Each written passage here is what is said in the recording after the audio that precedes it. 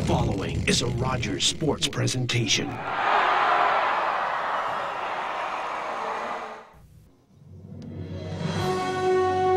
You could say it's been a good news, bad news weekend for the St. Michael's Majors.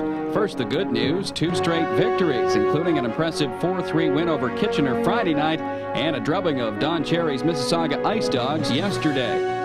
Now, the bad news Captain Mike Jefferson's four game suspension has been extended to six. That means today the Majors try to keep their winning ways going without their captain as they take on the Kingston Frontenacs.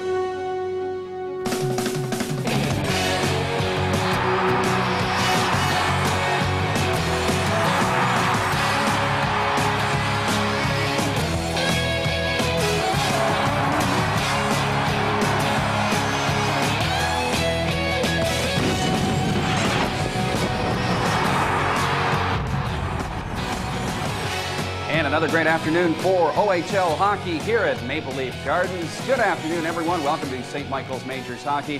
I'm your host today, Mike DeJong. Well, the Majors are definitely on quite a streak at the moment, coming off that big 5-3 win, 4-3 uh, win Friday night in Kitchener, and the big 6-1 win yesterday over Don Cherry's Mississauga Ice Dogs in front of over 8,300 fans here at Maple Leaf Gardens. Several reasons for this winning streak. Uh, the play of several players, including Kenny Corupe. Uh, one of the reasons why the Majors have been playing so well lately. He's on a seven game point scoring streak. And of course, the men in net, Dwayne Bateman making 53 stops Friday night against Kitchener. And yesterday, Patrick Dovigi coming up with 28 saves against the Ice Dogs. Head coach Mike Futa says goaltending has been the key. Ever since Bateman and Dovigi have arrived, they've uh, they've really elevated the whole team's play. And as I said, it was just a matter of time, I think, before the team was uh, rewarded for their good efforts. We went into Kitchener on uh, on Friday night, and uh, Bateman was the first star of the hockey game. The team battled hard. They held on. They overcame a 4,000 stuffed animal brigade tossed at the ice surface to hold on for a big road victory. And then, uh, to their credit, they carried it over, and Dovigi came in and shut the door on Mississauga. And, uh, felt the boys really worked hard yesterday, and once again they were rewarded with two points. Oh, I don't. I mean, right now for us, like we're struggling at this time, and uh, you know, I think we got to come in and approach it like any other game. It's a road game, and uh, they're one point behind us, so it's a, obviously a big game for us. And the Frontenacs are coming off a tough 4-2 loss on home ice last night to the Ottawa 67, so you can expect them to be a little bus weary as well today. With more on today's matchup, let's go upstairs to our play-by-play team of Tim Haffey and Glenn Lowes. Glenn, the Majors on a little bit of a roll coming into this afternoon's game. They've put together back-to-back -back wins for the first time this year. Wins over Kitchener and Mississauga. They're up against the Kingston Frontenacs, a team they've had all sorts of trouble with over the last two years. They've actually lost their last seven straight to the Kingston Frontenacs, but they're catching the Frontenacs at a good time when you consider Kingston has lost four games coming in. Now, the Frontenacs are in a rebuilding phase. A big part of that rebuilding phase is Michael Zigomanis, their leading scorer. He's a 17 year old, but an established player in his own right. Well, you're right about the leading scorer. He's a very diversified player, Tim. Uh, he's got 35 points so far this year, seventh in the league overall. And uh, here's a guy that they have to watch. Uh, I'm talking to Mike Futa before the game. Uh, their concern is that every time that uh, steps into the Toronto building, he's always played the game of his life. So they'll be watching him closely today. And one of the anchors on the Frontenac's blue line is the overager, Aaron Franson. Aaron Franson, again, uh, big kid, six foot two, 210 pounds. Uh, tried out for the Capitals in 97, and he was here in Toronto trying out for the Maple Leafs in 98. So the Maple Leafs, I'm sure their staff will be in the, in the crowd today, see how he's coming along. Uh, leading scorer on the defensive side of things for Kingston. He's also got the, the, number one power play goals for the team as well. Now, the Majors will be without their captain, Mike Jefferson, for a couple more games. They've been without him for the last four games due to suspension, requiring other players to step up. One of them, Kenny Corupe, is on a real tear. He has had, he's done a tremendous job at stepping up to the challenge of filling in those shoes for Mike Jefferson. Uh, Kenny Corupe, tremendous scoring streak with seven, seven, uh, seven games now. He's at two points a game and uh, that's something you don't see all the time. So he's going to want to keep stepping up to the uh, to the challenge of, of, of, filling in for Mike Jefferson. Uh, you see more time now that Jefferson's out, and uh, he's, uh, he's, he's coming off a back-to-back two goal game. So he scored two goals in Kitchener, and he scored two goals yesterday. I'm sure that uh, Mike Futa and uh, the rest of the coaching staff wants to see him do it again. And Kenny Corupe pretty much taking Jefferson's spot on the power play in recent games. Jason Cannon has taken Jefferson's spot on the top line with Sheldon Keefe and Ryan Barnes, and he's filled in very well as well. Very well indeed. He's uh, he's got a lot more ice time now, uh, working with Barnes and, and, Sheldon Keefe. He's getting the puck a lot more, playing with a lot more confidence than he did earlier on in the season. And uh, he's had five points in the last four games himself. So uh, both of these uh, young players are not immune to point getting. That's for sure. Okay, the majors and the Kingston Frontenacs coming up here at Maple Leaf Gardens. Thanks very much, guys. And you might want to keep an eye on Michael Zigomanis, the Scarborough native today for the Kingston Frontenacs. As the boys mentioned, he is their leading scorer, but he's also playing with a cast on his right hand after breaking a bone in his hand several weeks back. In fact, it came the game after they played here at Maple Leaf Gardens against the uh, St. Michael's Majors. So Zigomanis might be hampered by that a little bit, although it doesn't really look like it. He's got 35 points so far in 22 games. He is far and away the best player on this Frontenacs team. Another player to watch is Matt Elich. We'll have him in our first intermission. He is also a defenseman. They are led by a couple of defensemen along with Zigomanis. As Tim and Glenn mentioned, Mike Oliveira, another forward, but Aaron Franson and Matt Elich, two uh, rear guards that are, that are well in, uh, among the team leaders in scoring.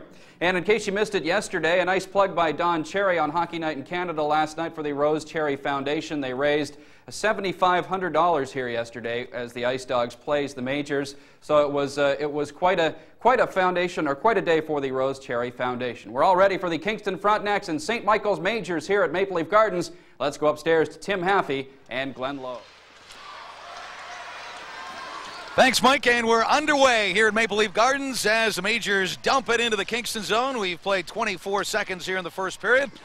Majors starting with their checking line of Brian Simpson, Ryan Walsh, and Matt Ellis, and that's because they're up against the number one line for the Frontenacs, Michael Zigomanis between Jonathan Schill and Mike Oliveira. Play whistle down in the neutral zone. Let's take a look at the scratches for this afternoon's game. George Nistis and Mike Jefferson, a couple of key scratches for the Majors. Jefferson's uh, sitting out the fifth of a six-game suspension for the Sault Ste. Marie brawl. Phil Blackos is healthy, and Mike Lacey's been out all year. Nistis with the ankle injury. Glenn, that's a key scratch for the Frontenacs. Kevin Grimes, the Colorado Avalanche first-rounder, he's been out for about a month with an abdominal situation, and Morgan McCormick, the rookie's been out a while as well. Walker McDonald, 19-year-old veteran, he was suspended. Uh, he's really banged up. He's, he's just kind of sitting this game out, taking a rest today. Well, an abdominal pull is very serious. Uh, something that I suffered back in the days when I played hockey, and it uh, it takes quite a while to uh, to heal oneself when, uh, when you got an abdominal pull because there's a lot of other muscles that are linked to that. So the Major's missing a couple of key players in Mike Jefferson and George Nistis, and the Frontenacs defense will miss Kevin Grimes and Walker McDonald, a pretty good player in his own right as well, a, a good, tough veteran forward. Majors, Sheldon Keefe turning and shooting. Shot hits the side of the net. There's Jason Cannon moving it for Ryan Barnes. Barnes working along the boards. Here is the Majors' number one line, Cannon, Barnes, and Keefe. And as we discussed in the outset, Cannon has filled in very well for Mike Jefferson on this top line, the Quinty connection. So it's the Quinty connection plus Jason Cannon now. Aaron Franson for the Frontenacs. Franson moves it to center. Franson to the line. Here's Franson working to the net. Nice shot, and Dwayne Bateman will make his first save of the game. Quick shot by the Kingston uh, player.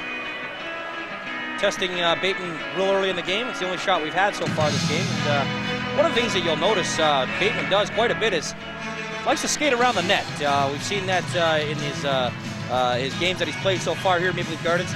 He's, he likes to keep keep moving, as they might say. He is a wandering goalie, and I noticed Patrick Dovigi yesterday afternoon against the Mississauga Ice Dogs was doing the same thing. I, I wonder is he mimicking Bateman or just a coincidence that the, the Majors have two of these wandering type goalies. But watch Bateman this afternoon. Whenever the uh, whistle goes, he goes for a skate. Yeah, that's it, and it keeps him loose, keeps him limber, and keeps him uh, in the game. Majors win the draw, puck in the corner as four or five of them bump along the boards. Kenny Corupe on the ice for the Majors, along with Brock Boucher and Jason Pinizzato, the Majors' number two line. Kept into the line by Aaron Franson. Sends it deep. Puck back of the net for DJ Miracle. Miracle stood up by Mark Hines. Chris Boucher has his man covered back of the net. Corupe trying to work it loose. And Kenny Corupe will dig it out and send it ahead for number 26, Jason Pinizzato. Puck clear to the open wing. Aaron Franson for the Frontenacs, and he sends it right back into Toronto territory. Bateman is signaling icing. Mark Hines will touch. We've played two minutes and 16 seconds, no score. We had a uh, great day here yesterday, Tim. We had 8,300 fans or better, uh, and we were able to present a check as uh, as we are talking about uh, to Don Cherry. Good picture of Mark Hines there. He's, uh, he's been playing very well this year. He's getting a lot more ice time as the as the season's progressing, and the uh, the coaching staff's feeling a lot more confident in his ability.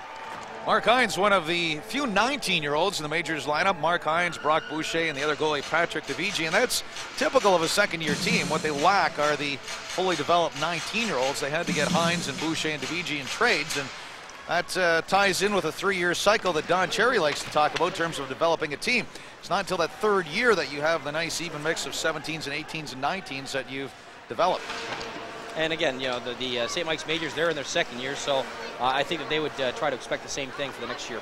Yeah, the Majors are, are led by 18-year-olds primarily being a second-year team. Here's the Frontenacs driving it into Toronto territory. Michael Oliveira takes a hit from Mark Popovic, but play whistled down. The referee, Mark Hicks, has signaled a hooking penalty. So we will have our first power play of the game, Glenn. Yeah, I'm not sure where the uh, where the actual incident took place. Uh, it's a holding penalty he's called. Uh, looks like it's going to Mark Popovic. So Mark Popovic's going to be out for a couple of minutes while uh, Kingston tries to take good use of Zigomanis and uh, pop one in on a power play. Majors penalty killing is eighth in the league, 76.7% ratio. On the flip side of that, uh, the Majors are number two in the league in, in power play. When they get the opportunity for the power play, they usually score on it, Tim. Well, the, the, power play has been carrying the majors to a large degree this year. They connected for three power play goals against Mississauga yesterday afternoon. They had two in uh, Kitchener, so the power play has been instrumental in their last two wins. Kingston Frontenacs on the power play with Mark Popovic off at 241. Michael Zigomanis, Michael Oliveira, Matt Elich, Aaron Franson, and Jonathan Schill, the power play in it. Schill lets it go from the left point. Hard shot, just wide. Players bump along the boards. Franson will glove it down to the line, but unable to keep it in, and he will send it back on the offside. Majors on the penalty kill. Let's see they have out there. They have the veteran Mark Hines. They have Sean Cation, who's very good with the puck, and Ryan Barnes and Sheldon Keefe up front. So Take a look at that major power play unit. They have three guys that are penalty killing unit. They have three guys, Cation, Keefe, and Barnes, that handle the puck very well. So there is some uh, offensive potential. And worth pointing out, the Majors have scored a shorthanded goal in each of their last two games. And Keefe uh, instrumental in scoring those goals. He scored a beautiful one yesterday against Mississauga, and he's always a danger whenever he's on the ice, regardless of how many players are out there with him. Sheldon Keefe with 19 goals in 21 games coming into this game. If he scores this afternoon, he will become the third player to reach 20 goals in the Major's two-year history. Here's Aaron Franson keeping it at the point for the Frontenacs. 134 remaining on the power play, but Jonathan Schill unable to contain it on the left point.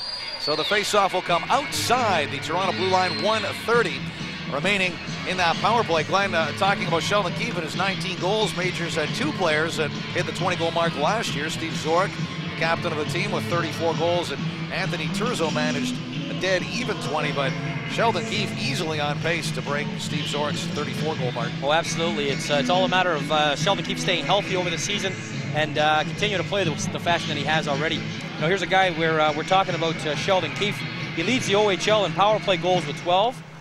Tied, in, tied fourth in the OHL for points overall with 36, and here's he's a rookie. I mean, a lot of people are, are, are not remembering the fact that he is a rookie. Uh, it's his first season here in the OHL, and he's he's lighting it on fire. Play whistle down again, 123 remaining in the Mark Popovic penalty. As the Frontenacs are having trouble moving this puck over the blue line, the faceoff will be just inside the red line on the Majors side of center. Kingston Frontenacs, this team very clearly in a rebuilding phase. They've made a, a couple of moves recently, trading the veteran Jan Solch to Owen Sound for the 17-year-old Ryan Rivard and Larry Mavety, the general manager and head coach, realizes uh, it's the the future is now, or or the, the time to rebuild is now. They lost a lot of top players last year, so their priority now is to develop the 17s and 18s. Absolutely. Puck to the Majors blue line, bouncing puck, and Chris Cavill will send it deep into Kingston territory. Curtis Cruikshank, long lead pass from Matt Elich. Matt Elich, number 24, nice pass for Zigomanis. Here's Zigomanis over the line, wrist shot, and that whistles high and wide. Kept into the right point. Now the Majors clear it down the ice. 48 seconds remaining in the power play. Cruikshank back of the net, doing a little bit of stick handling. Leaves it for Brett Ormond. Ormond, one of the new young players. They've worked in the lineup, number 20 with the puck. Got him about a month ago from the Peterborough Petes.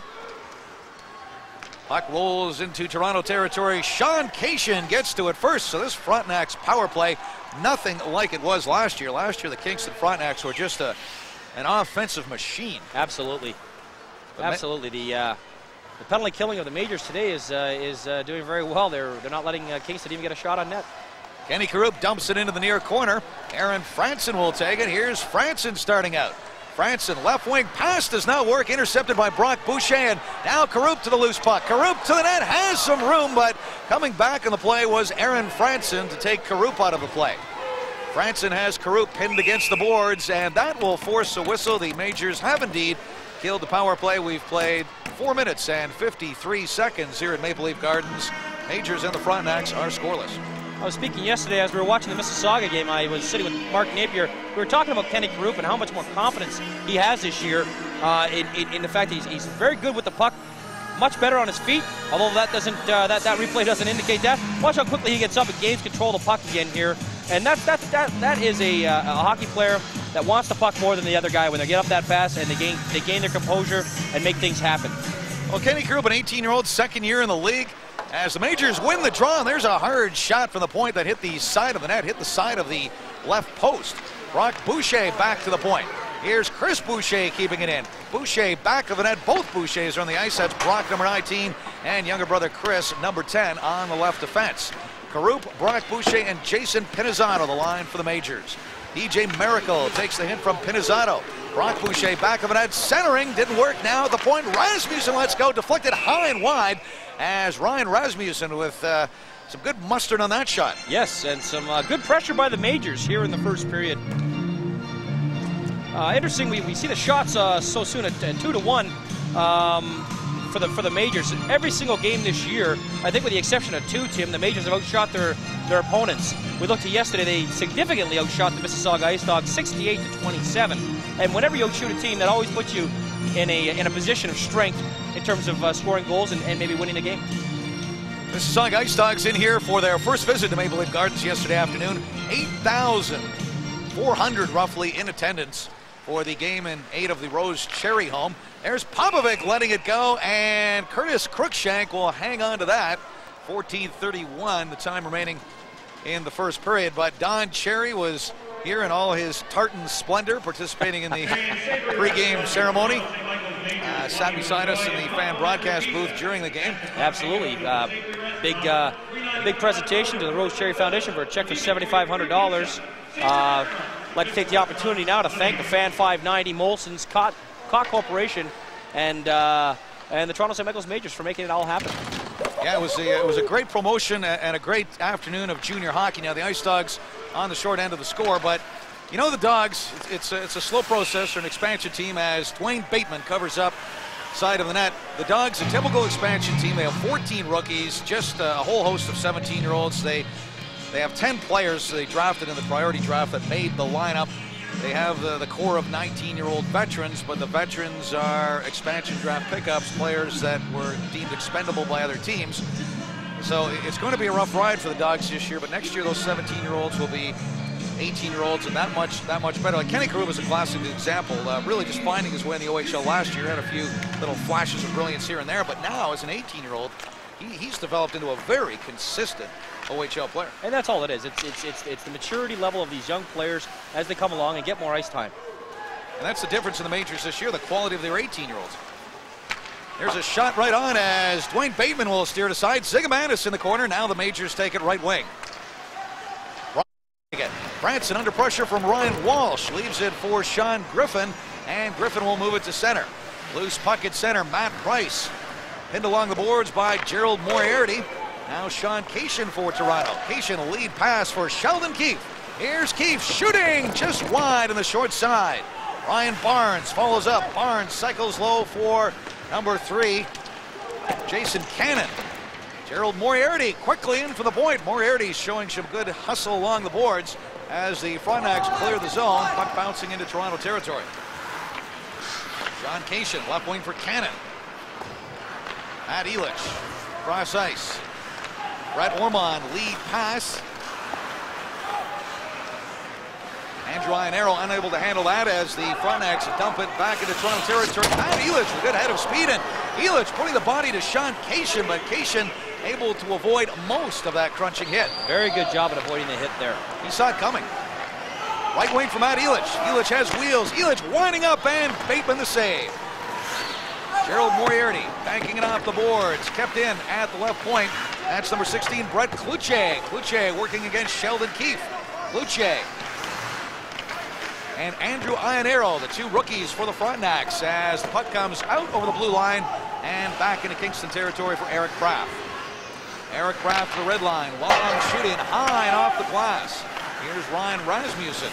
Rasmussen under pressure. Frontenacs putting a bit of pressure on here, but the Majors gathered up left wing and Brock Boucher. Pass too far for Pinizzato. Puck loose at center as Brett Clouthier will send it into Toronto territory with the score no score. This is St. Michael's hockey. It's time to play game number two this afternoon. We're in the goal. Daryl Thompson will step in against Kenny Corupe on the face-off.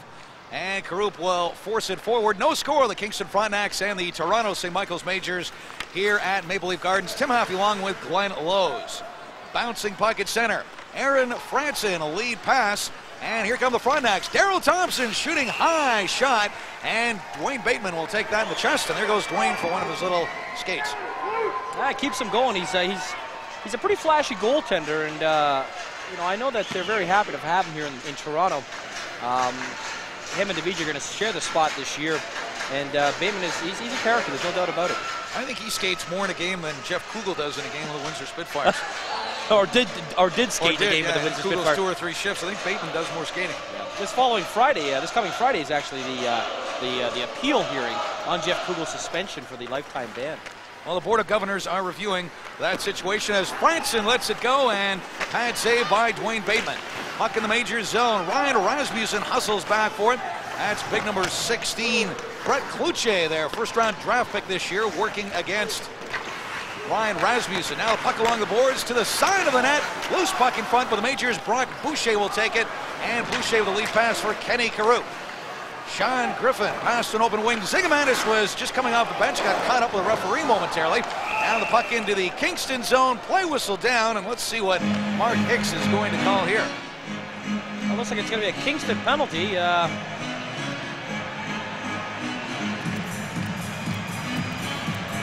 Kenny Corupe going to head off the ice for a breather. I'm sure we'll see him before the uh, power plays out.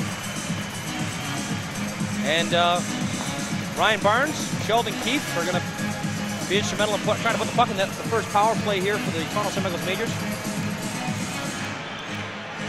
So we'll get a look at this number two ranked Toronto power play. Kingston penalty killing 14th in the Ontario Hockey League, 75.0%. And the Majors power play very, very potent, and it has been clicking. Three goals against Mississauga, two against Kitchener. Both victories. The power play doing a great job for the Majors in recent games. This power play number two in the league, behind only Plymouth, Yeah. 31.9%. penalty So Clouthier is off for elbowing. Majors in the Frontenacs are scoreless. Two minutes elbow. Sean Cation will try and get this initial power play rush going, but Jonathan Schill doing a great job of forechecking. Sheldon Keefe will try it, but he's got a man on him as well. It's Michael Zigomanis, and Zigomanis manages the steal, and we have a penalty. It looks- Zigomanis. Zigaman, For well, tripping. Yeah, it's a Yeah, tripping he, tripped, he tripped up uh, Keefe in the corner there.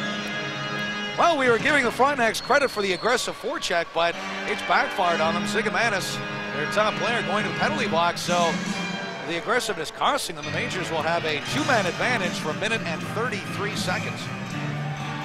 Mark Osborne back of the Majors bench, the assistant coach, former Toronto Maple Leaf, played for Majors president Reg Quinn in his junior days with North Bay and renewing that connection with Reg Quinn here with the Majors. So Michael Zigomanis from Scarborough out for tripping, and we know Michael Zigomanis will be in the CHL Prospects game this year at Maple Leaf Gardens. I know that uh, Larry Mavety's going to want to see him on the ice more than he's want to see him in the penalty box today, that's for sure.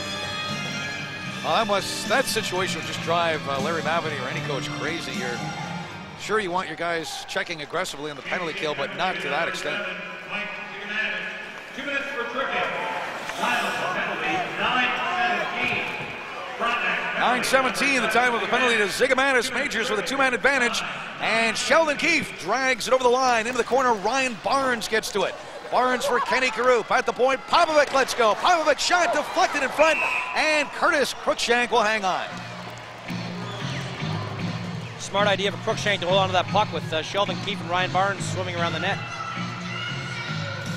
111 remaining in the two-man advantage.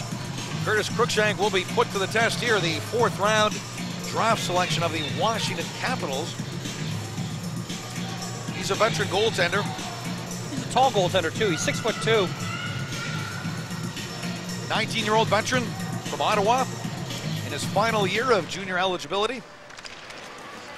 Puck in the Kingston zone. They win the draw. Sean Griffin rings it around to the boards. Kept into the right point by Popovic.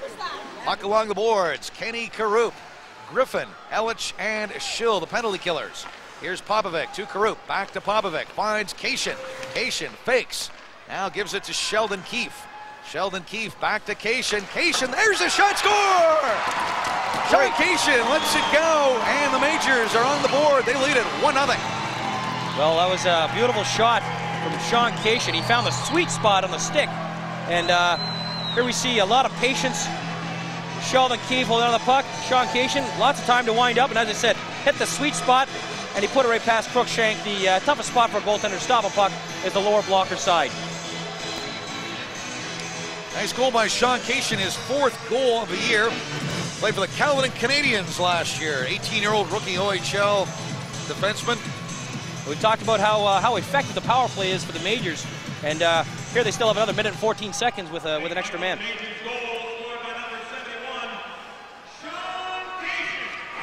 Here's Cation bringing it back for the Majors, still on the power play. 105 remaining in the Zigomanis penalty. Cannon at the point. Here's Cation for Jason Pinizzato. Pinizzato and Cation moving it around very crisply. Now Brock Boucher. Boucher Number 7 Popovic. along the boards. Boucher shoots deflected high and wide. And Matt Elich will take it for the Frontenacs and skate it out to the blue line. Matt Elich, good puck handler, good skater. Matt Elich into Toronto territory, drags it around. Cation backhand shot off the side of the net. Watch Matt Elich. He is one of the smoothest players in the Ontario Hockey League. Mike Oliveira with some moves himself, stepping it around Brock Boucher, and now Jason Cannon will take it for Toronto. Here's Cannon, lead pass for Sheldon Keefe. Keefe to the line. Keefe winds up high, rising shot off the glass. Keefe quickly to the rebound. Keefe and Barnes along the boards. 14 seconds remaining in the power play as the Majors try and get it set up. Puck at the point. Here's Jason Cannon. Cannon, wrist shot, knocked down in front by Aaron Franson, and Franson will wrist it down the ice. Power play is over as Michael Zigomanis returns to the ice.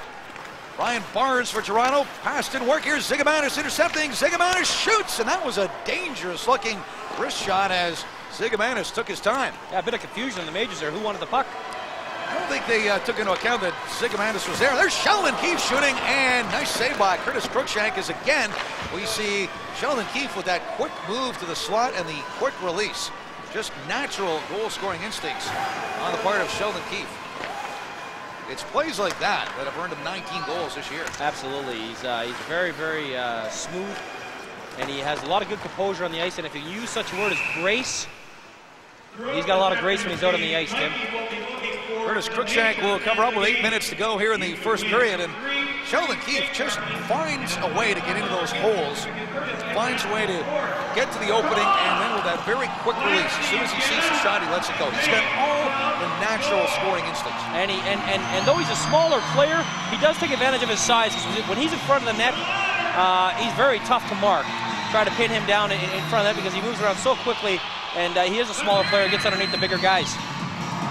Sheldon Keefe and Mark Popovic assisting on the power play goal by Sean Cation, his fourth of the year. So Keefe will extend his point scoring streak to five games, which is modest by his standards. He's almost sure for a point a game.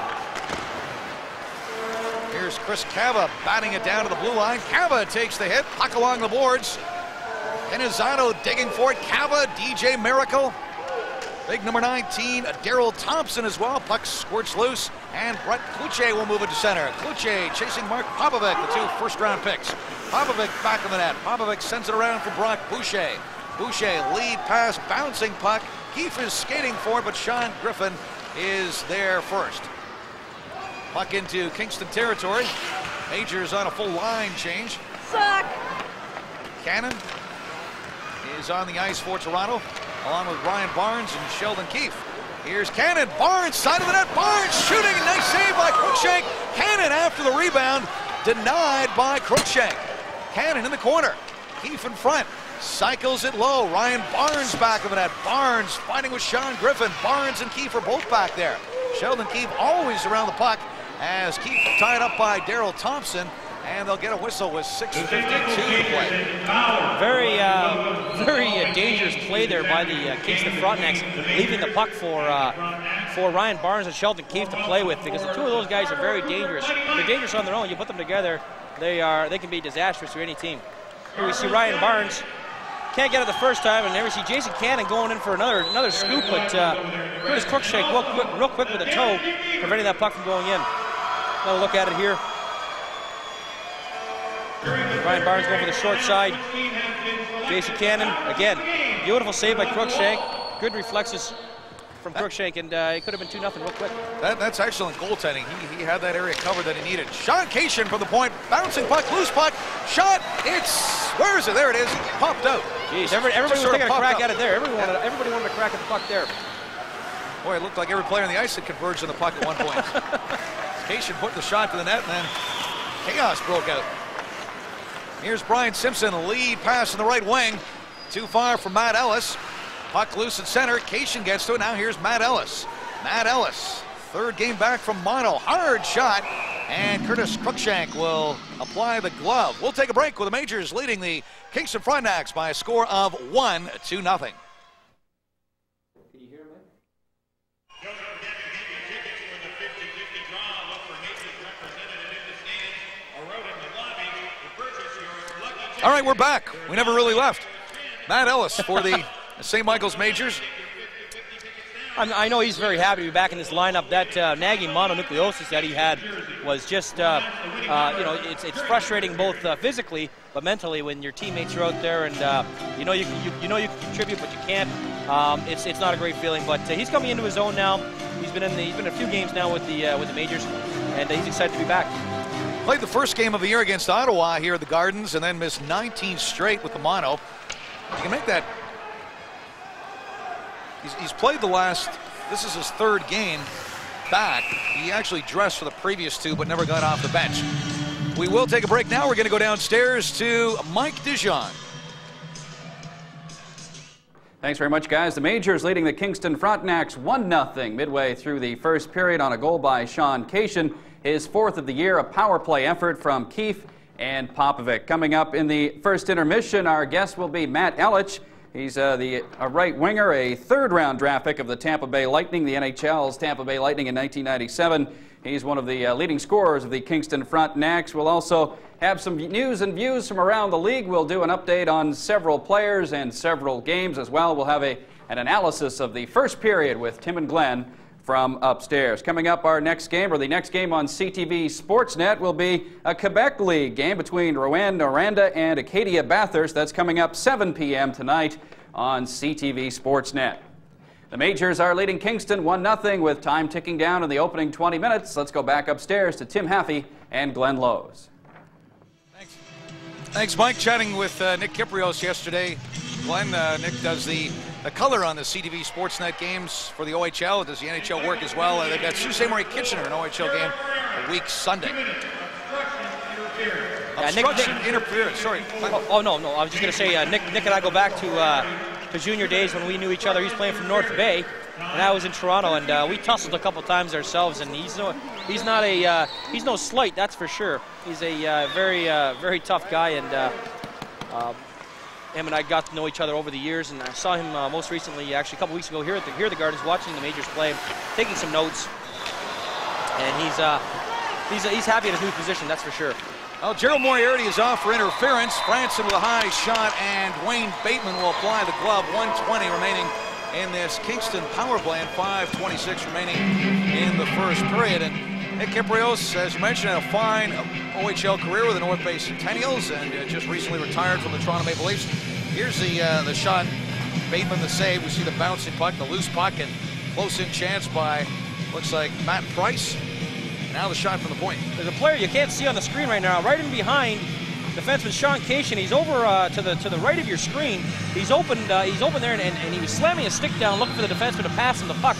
And uh, I think it would have been a goal there if the defenseman had a heads up and uh, and slid it over to him. But fortunately for the majors, that didn't happen, and uh, we got a face-off outside of uh, outside of Bateman there. Well, Kingston isn't the offensive powerhouse it was last year, but there are still remnants of that team. Zigomanis, Matt Elich, Mike Oliveira, three very talented shooters on this team. And some of the younger guys have brought in, Brett Clouthier and Daryl Thompson, name a couple, have some pop as well. Here's Aaron Franson, who can generate some offense with the blue line, just barely got around Kenny Corupe. Now Michael Zigomanis. Zigomanis loses it. Ryan Walsh for Cava. And Cava will send the bouncing puck down into Kingston territory. 46 seconds remaining in the Kingston power play. Frontenacs on the power play for the second time in this game.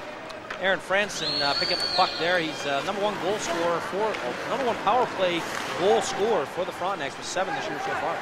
Here's Zigomanis right wing for Oliveira. Oliveira and Cava bumping along the boards. Down goes Cava. Puck kept in at the left point. Brett Ormond keeping it in, but Jason Cannon will intercept, and Cava will lead the Cannon rather will lead the rush to center. Cannon winding up a cannon of a shot, and Curtis Cruikshank makes the save. Now I don't say that very often. No, you, you don't. I'll save that for when it applies. It's it's, it's easy to overuse that, but but uh, Cannon really did let it go there. There's Jonathan Schill bumping with Popovic as the power play is over. Gerald Moriarty skating to the Majors bench. Loose puck at center, and Brett Ormond will take it for Kingston. Ormond for Zigomanis. Comes back into his own zone. Brock Boucher was chasing him. Zigomanis very smooth leading the rush, but not so smooth coming over the line as the Frontenacs called him the offside, and Matt Elich is a little upset with himself on that. Yeah. Little, uh, little, um, little hasty to get there. Uh, uh, great hockey very smooth, and uh, you know Matt just just, uh, just a little bit uh, anxious getting over the line. Matt Elich, as we heard, the overager will be Mike DeJong's first intermission guest. He's from Grosse Pointe, Michigan, Matt Elich. DJ Miracle, one of three players involved in the big penalty box brawl against the London Knights. He was suspended, as was Brett Clouthier and Walker McDonald, who is not playing this afternoon. The suspensions have all finished, but Walker McDonald, combination of the suspension and a little banged up, he is resting for this afternoon's game. Larry Mavety also got a uh, two-game suspension as a result of that brawl because uh, McDonald left the players' bench to enter the fracas. Here's a shot score! Mark Popovic left point, and the Majors go in front by a score of two to nothing. Beautiful goal by Mark Popovic. Uh, the defensemen are leading the way here today, uh, Tim, with uh, both uh, both goals coming from defensemen. Popovic this year, beautiful, beautiful goal by by Mark. Mark's second goal of the year, assuming he gets it. I think he did. It looked like a clean shot. There was traffic. Great job, Brock Boucher taking out the defenseman in the corner, freeing up the puck, and a big wind up, and that just uh, that went in on its own. Sweet, sweet goal by uh, Mark Popovic. Uh, a little screen in front there. We got to give credit to Brock Boucher, big Brock Boucher, screening uh, Cruikshank to uh, to a degree. Mark Popovic's second OHL goal scored his first Friday night in Kitchener, so two goals in three games for Mark Popovic. And the Majors going front 2 0, being led by the offensive guns in the blue line, Sean Cation and Mark Popovic. Bouncing puck into Toronto territory. Dwayne Bateman will leave it for Ryan Rasmussen. Rasmussen starting on the left side for Brock Boucher. Aaron Franson trying to keep it in the line. Puck now into Kingston territory where Brett Clouthier sends it across for number five, Sean Griffin. Here's Griffin to the red line, sending it deep into Toronto territory. Puck into the corner. Brock Boucher is there. Boucher takes the hit. Down goes the Kingston player. There will be a Majors penalty. Open net for Clouthier. Shoot scores! Brett Clouthier on the delayed penalty call. Bateman made the initial save, but he was at Clouthier's mercy on the rebound.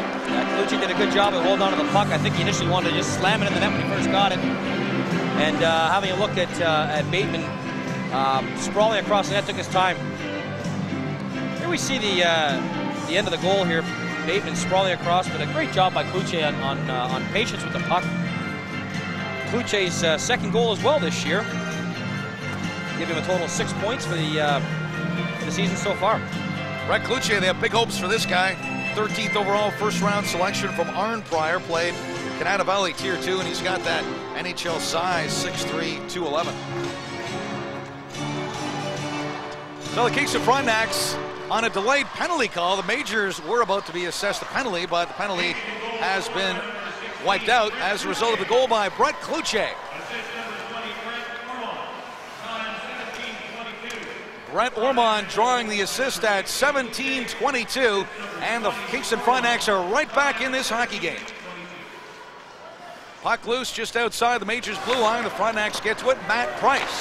Matt Price will fire it in. Puck along the far boards, kept into the line, not kept in though. That Brett Ormond almost had it. Now he sends across ice for Eric Braff. Braff steps over the red line, fires it deep. Bateman unable to stop it. Back of the net. Sean Cation for Toronto. Cation under pressure, takes a hit from Matt Price. Now here's Jason Cannon. Cannon will turn. He's good on the skates, Jason Cannon. Cannon under a, a bit of pressure deep from Andrew Ianiero. Ryan Barnes is back. Majors uh, a little bottled up. Now they get it out as Cannon will take it and send it to center for Sheldon Keefe. Keefe, long shot, handled easily by Curtis Cruikshank. And Cruikshank will leave it for Brett Ormond. Ormond, right side for Eric Braff. Here's Braff over the line. Hard shot steered aside by Dwayne Bateman. Chris Cavill along the boards. Jonathan Schill is there. Now Zigomanis. Zigomanis, Schill to the front, back in, and Bateman the save as the Kingston Frontenacs have realized some momentum after that goal by Brett Clouthier. Referee Mark Hicks is going to call another penalty against the Majors here. I believe it's going to be a holding penalty. As the uh, as the Kingston's pressure is, is not a is not a good thing for the Majors because it seems like they're holding them up every time they get into the end.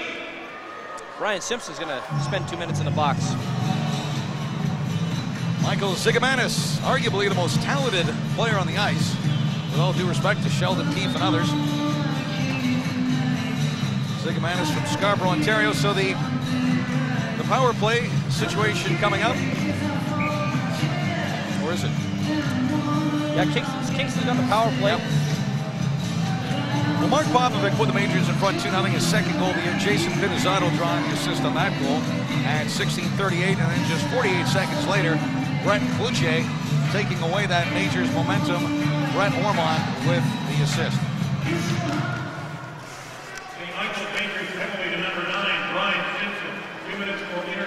So Brian Simpson is off for interference. The Kingston Frontenacs go on the power play for the third time in this afternoon's game. They are 0 for 2. 1842. 1842, time of the penalty to Brian Simpson. Here's Sean Griffin ahead to Michael Zigomanis. We're into the final minute of play here in the first period. Puck into the Toronto zone. Dwayne Bateman will cover up with 53.2 seconds remaining in the period.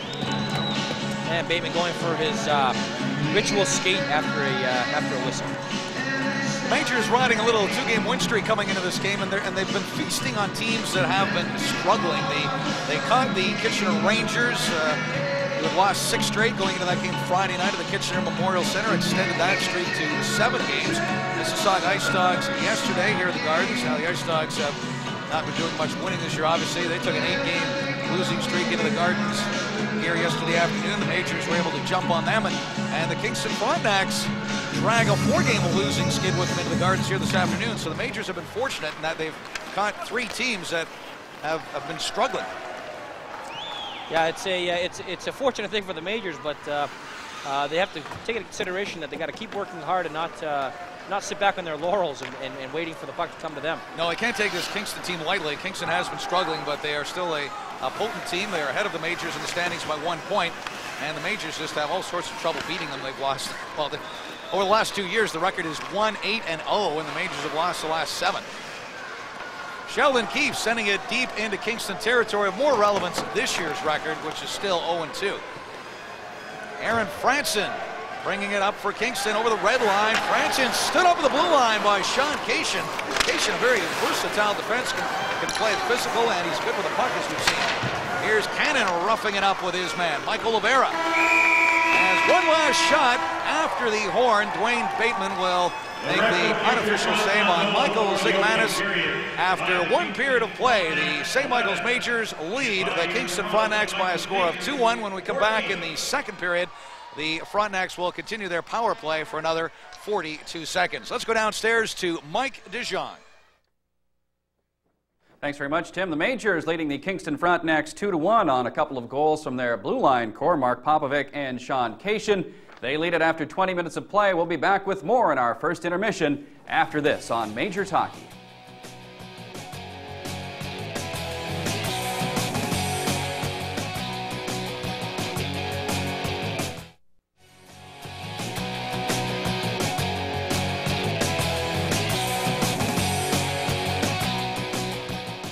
Welcome back to Maple Leaf Gardens Majors Hockey. St. Michael's leading the Kingston Frontenacs by a score of 2 to 1 after one period of play. Joining us now is one of the uh, Kingston Frontenacs leaders, 20 year old right winger Matt Elich, as you uh, corrected me before you came in, Matt. Uh, I guess it's been a bit of a, a rough season for you guys in Kingston, uh, rebuilding a little bit. Yeah, I mean, last year we had a lot of a lot of high-profile players like Mayhew and Bradley and Allen, and that uh, you know not having them this year is takes takes its toll on us by uh, not scoring. But uh, you know we got a lot of hard-working young kids, and uh, I feel we'll, we'll prevail this year. So let's talk about uh, yourself a little bit. You were a draft pick of the Tampa Bay Lightning a couple of years ago. You said you've been to camp with them uh, a couple of times? Yeah, I was drafted uh, third round in '97. Uh, I've been to two camps already this year and last year, and uh, you know hopefully uh, this this coming summer I'll be a free agent, but hopefully before then I can get signed. What are they looking uh, to you to do? What have they told you? Uh, just you know, I'm, I'm fast out there. They want me to go to the net and work hard. You know, I'm bang a little bit and uh, put the puck in the net. So hopefully I can uh, do that for them. I know before the game, your coach uh, Larry Mavety was telling us that uh, they're looking for a bit more scoring punch. You guys have had a bit of bit of trouble scoring lately. Uh, what is it? Are you guys just been uh, taking penalties, or just just been caught a little bit flat? Yeah, well, I agree on that. I mean, we, we do sometimes take stupid penalties, but uh, I mean, anytime we get out there, I think in the last three, four games, we've been uh, you know pretty good on our power play. But uh, even strength is where we have to work hard, and uh, it takes a few guys to step up. So hopefully, I'll be one of them. Now you're from the uh, Detroit area, I guess. Uh, initially, tell us why you, you came to the OHL as opposed to maybe going the uh, the college route or something. Well, I mean, uh, you know, I'm American, and being that uh, all the Americans go to college, but uh, my parents and I discussed it and decided that uh, maybe you know try out the OHL, see how it goes, and uh, I think I've been a success so far. So hopefully, I can uh, go on to the National Hockey League. Good luck to you. Thank you very much. That's right winger Matt Elich of the Kingston Frontenacs. We'll be back on Majors Hockey after this break.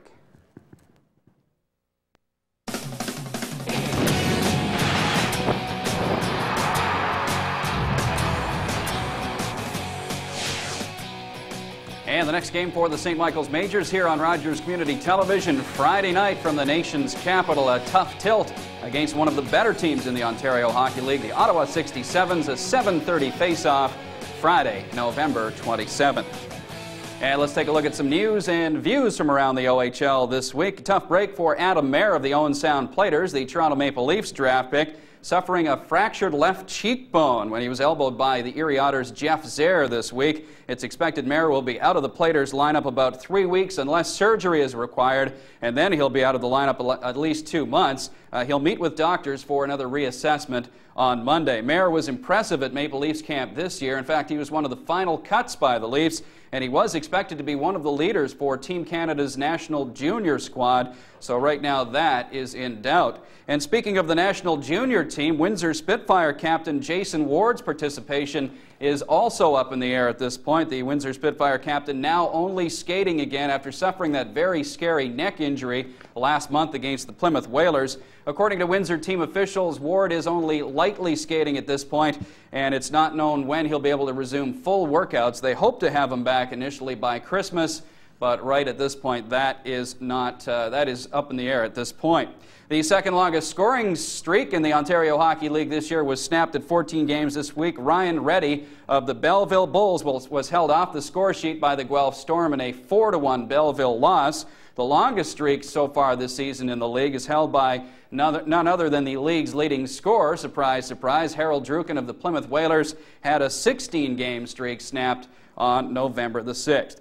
Let's take a look at some of the standings this week from around the league. The Central Division, the Barrie Colts, one of the, the hottest teams in the league, nine straight victories. They are the class of that division by far, 37 points, followed by Sudbury, North Bay. There's your Toronto St. Michael's Majors, still in the hunt for a playoff spot and the Mississauga Ice Dogs one win in 22 games.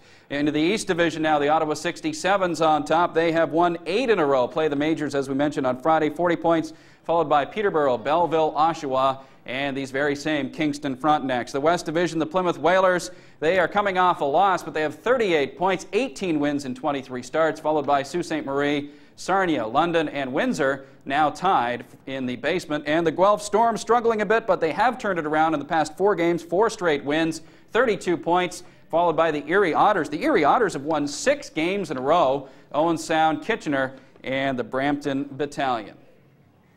And this afternoon's games on the out-of-town scoreboard, those Plymouth Whalers that we told you about battling Guelph, that should be a great tilt in Guelph this afternoon. It's scoreless in the first period. Peterborough and Sudbury also scoreless, as are Kitchener and North Bay. The Rangers have lost seven in a row. Brampton at Sault Ste. Marie also knotted at Donuts in the first period. Tonight's games, the Ottawa 67s are playing up in Mississauga. That should be a one-sided affair, no doubt. Owen Sound playing at Barrie Sarnia traveling down the highway to Oshawa.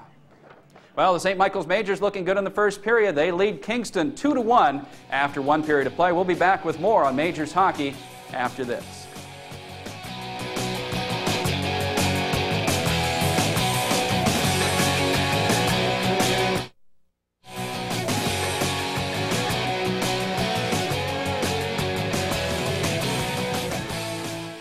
Welcome back to Majors Hockey. St. Michael's leading Kingston 2 to 1 after one period of play. Let's go upstairs for a look at a couple of those first period goals with Tim Haffey and Glenn Lowes.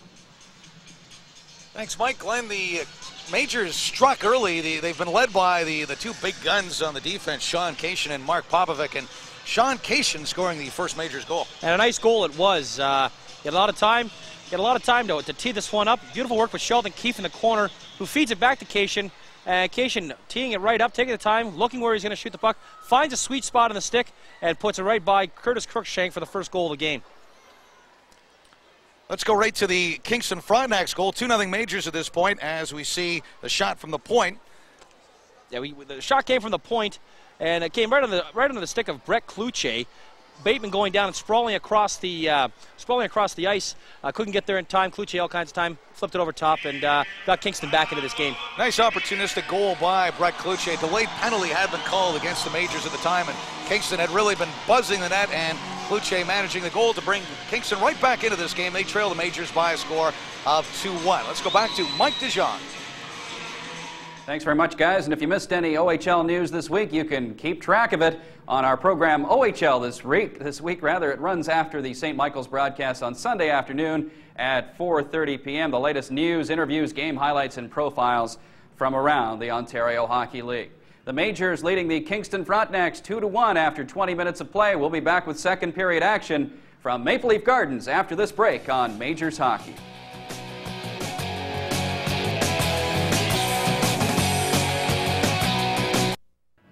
And we're ready for second period action here at Maple Leaf Gardens. Let's go back upstairs to Tim Haffey and Glenn Lowes. Thanks, Mike. The Kingston Frontenacs remain on the power play for the next 42 seconds. Majors leading 2 1. Sean Cation from Sheldon Keefe and Mark Popovic opening the scoring on the power play at 10.03. Mark Popovic from Jason Pinizzato at 16.38.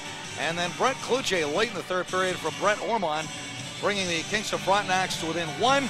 And the Frontenacs with an opportunity here to pull even. They've got the power play for another 42 seconds with Brian Simpson continuing to sit for his interference penalty. Aaron Franson hammers it into Toronto territory. Sean Griffin at the left point. Griffin feeds it deep.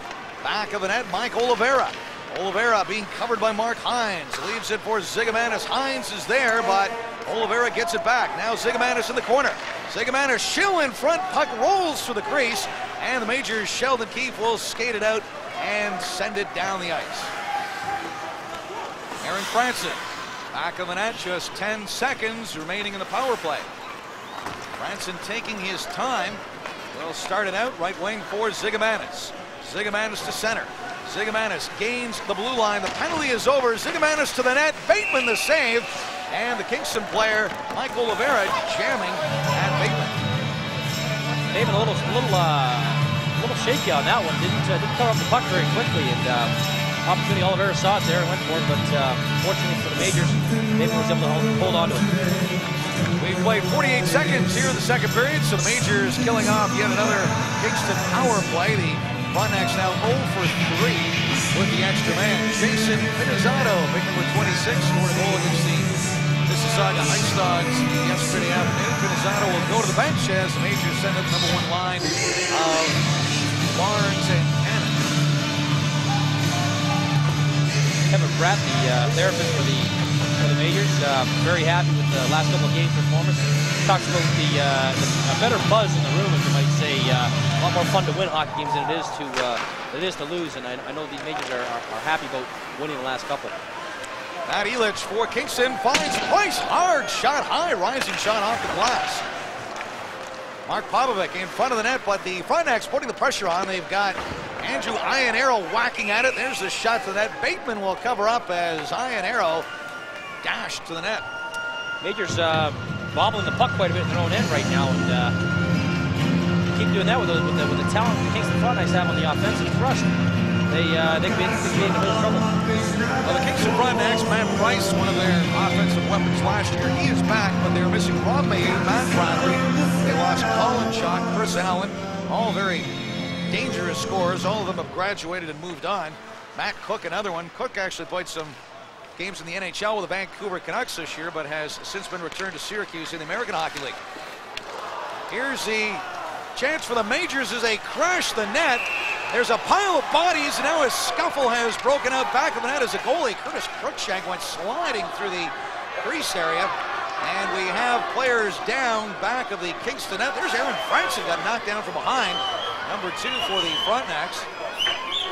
Sheldon keeps at the bottom of that pile, which seems to be the case all the time. Uh, taken down very hard by the Kingston Frontenacs, and uh, they're going to be penalized for it. But uh, the whistle blew a little too early there. There was a great opportunity for the uh, for Sean Cation to pick up the second goal. Well, with or without Mike Jefferson, the Majors are vigilant about protecting Sheldon Keefe. Absolutely. Here he is again. He's so good at squeezing between the defensemen, and uh, they just they just uh, tackled him. That's all they could do, and uh, he still tried to get a shot away. He's still there, but uh, the two bodies moved the goalie right out of the net, and here you see the puck coming back. Sean Cation here with a great opportunity, an open net, uh, but unfortunately, referee uh, Matt Hicks And you can see what Cation is doing there. He's protecting Sheldon Keefe. He's well aware that Franson's on top of Sheldon Keefe, and you see you can see that Cation gave Franson a little shot. The the Majors are just absolutely uh, consistent in their uh, defending Sheldon Keefe. We saw Cation take a run at one of the Mississauga players towards the end of yesterday's game after a liberty was taken with Sheldon Keefe late in the game. So the Majors, uh, well, the Majors go on the power play as Aaron Franson will get two minutes. And uh, Aaron Franson, they're tackling Sheldon Keefe on the breakaway. That looked like something we, we might see in the in the Grey Cup game this afternoon. That was a full-blown tackle. Uh, how do you take in the Grey Cup this afternoon, Tim?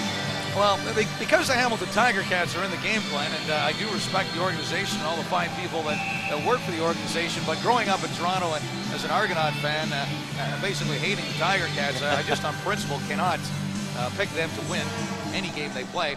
So I, I'm obviously taking the Calgary Stampeders.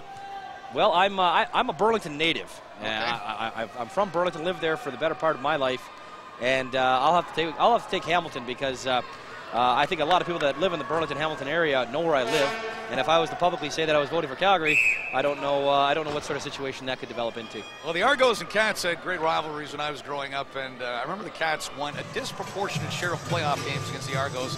Games you figured the Argos would win, and uh, it was very disheartening, some of those losses. And you, you develop uh, develop, you develop a passion against the other team. well, That's- yeah, no love lost, so it was very difficult for me to support the Cats on the field at least. And number 12, Andrew Ianiero.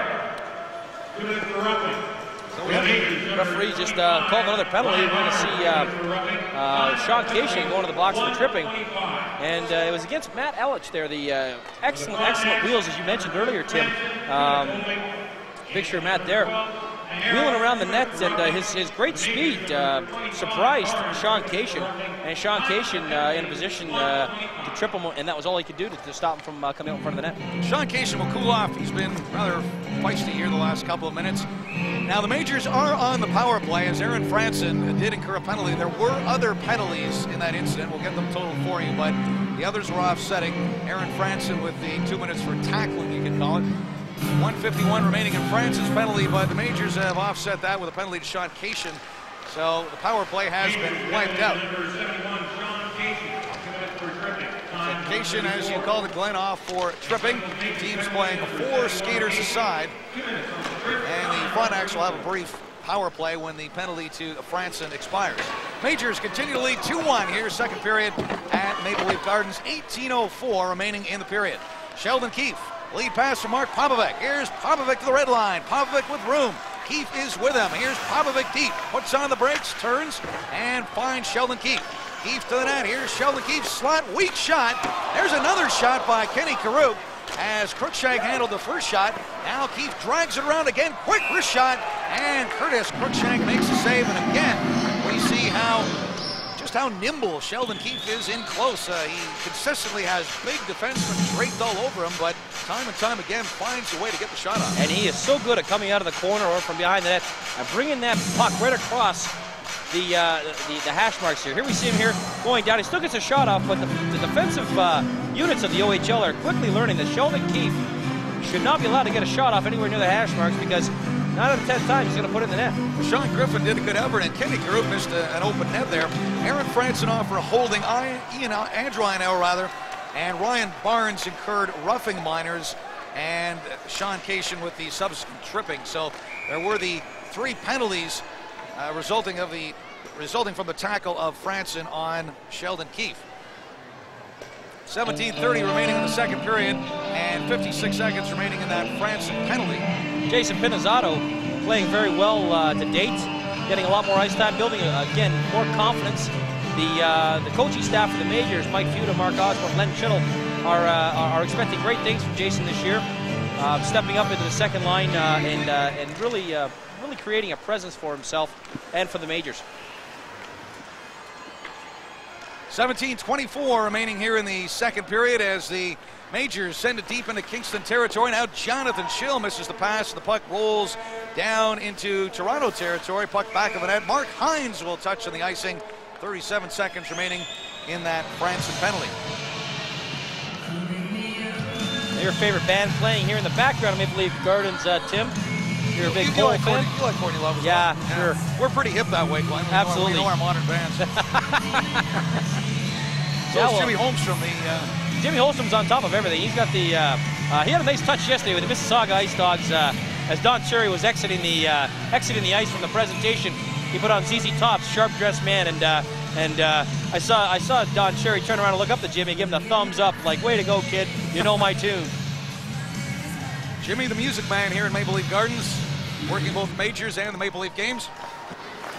Mark Popovic at the point, kicks it ahead for Jason Cannon. Cannon will lose it now. Side net, Kenny Corupe rings it off the crossbar. Nice shot by Kenny. Kenny Corupe, two goals in each of his last two games. Sheldon Keefe with the shot, and Curtis Cruikshank steers it aside. Kept into the line by Cannon. Keefe with it again, bouncing puck. Keefe contained by Brett Ormond, and Ormond wrestles Keefe to the ice. That will draw a penalty as Dwayne Bateman skates to the bench. Delayed penalty call. Mark Popovic intercepted by Jonathan Schill, and again, Sheldon Keefe drawing the penalty. Again, we see how valuable Sheldon Keefe is to this team. Not only does he score goals, score power play goals, he's responsible indirectly for a lot of power plays by, by drawing the penalties. He's a treat to watch and uh, uh, very dangerous on the ice. Uh, when he's got that puck, it's very tough to stop him. And uh, good look at Sheldon there wearing the captain while Mike Jefferson is uh, is serving the fifth of his six-game suspension. Uh, what can you say about Sheldon Keefe that we haven't already said? No, just keep just keep saying it. Just keep saying it over and over again. He's a tremendous player with a lot of poise on the ice, and and uh, uh, he's, he's going off for uh, a little bit of a, a talk here to the uh, to the coaching staff, and um, he's gonna have a bit of a break. I think they're gonna get him out here again for the last part of the uh, uh, power play. But uh, just just a tremendous hockey player. So the Majors will get their fourth power play opportunity of the game. 321, the time of the penalty to Brett Ormond for holding. Teams are four skaters aside now. Now the Majors are on the power play as the backhand shot rolls for the crease. Sean Cation out of the penalty box. Majors on the power play. Brock Boucher's shot hit escape, and the puck rolls into Toronto territory. Dwayne Bateman will leave it for Mark Popovic. Popovic. Back of the net, down goes the Kingston player Matt Elich. Jason Cannon, right wing for Sheldon Keefe. Keefe into Kingston territory. Keefe driving the net. Franson forces him wide. But Keefe will take it around the other side. Jason Cannon for Popovic. Popovic shooting and Cruikshank the save. Kenny Corupe quickly to the rebound. Kenny Corupe working the near boards. Stops, setting up. Corupe to the net. Side of the net. Now Popovic. Popovic finds his man Brock Boucher. Boucher centering, but Matt Elich will send it down the ice as Boucher was looking for Sheldon Keefe. Good puck movement by Corupe and Brock Boucher. Weak shot from Matt Elich, steered aside by Dwayne Bateman. Here's Jason Cannon. Cannon with a lead pass. Oliveira with the steal. Oliveira trying to finesse it around Cannon, but Cannon, the veteran, stood him up. And Brian Simpson, right wing for Toronto. Brian Simpson pounded along the boards by Sean Griffin. Sheldon Keefe, back of the net. Keefe takes it on the far boards. Here's that move to the net, but he's tripped up well in the play by number 22, Jonathan Schill. The Frontenacs are catching on. They're quickly collapsing on Sheldon Keefe as he makes that move to the high slot area. Good move by uh, by Bateman there, uh, covering the puck up. And uh, referee didn't blow the whistle right away, and as soon as the Kingston player skated by him, he uh, released the puck. And here we have the Majors uh, force the play back into the other end, and now we've got a face-off in the end. Smart heads-up play by uh, by Bateman. Ryan Walsh leading that last Majors rush, and we will have a face-off in the Kingston zone. Four seconds remaining in the Brett Ormond penalty, so Majors will at least get a draw here to set things up. Ryan Barnes is back on the ice after serving his two-minute roughing penalty, as would be Andrew Ianiero as well. The new St. Michael's Majors program is out, Glenn. Yeah, the new the new program is out. It features the, uh, the players. It, it explains a bit about the mentorship program. It also explains the relationship that was formulated over the summer with the Toronto Maple Leafs Sports and Entertainment and uh, and the and the Toronto St. Michael's Majors hockey team. So it's, it's it's it's available at all games, and uh, pick one up from your uh, from your souvenir stand. Mike Jefferson and Brian Simpson are featured on the front cover of the new Majors program, and Yeah, we uh, we went with Simpson and, uh, and, and Jefferson. Jefferson being the captain, and Simpson the Scholastic Player of the Year last year. And again, St. Mike's uh, keeping with the philosophy of academics and athletics, making the true man. Um, figured that would be the uh, a great a great way to uh, present that. Sure, Jefferson and uh, Simpson representing the the dual nature of the St. Michael's hockey program, the emphasis on both athletics and academics. Every team in the OHL nominates a Scholastic Player of the Year at the end of the year. Manny Malhotra won the overall award last year with the Guelph Storm. Here's Aaron Franson shooting, and Kenny Corupe blocks it. DJ Miracle follows up, shot wide, carries around to the far side. Eric Kraft moves up. Graff looking for the man in front. Clouthier turns loose puck in front. It's loose again. They shoot again. Clouthier, and it's wide.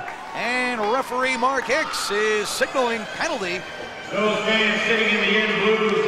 Or is it? He's brought the arm down. Let's see what he does. He's skating towards the penalty box. Now's the time. Take part in the St. Michael's Still haven't seen him actually signal the penalty. Go ahead. Who does the goal? It's a one. Yeah.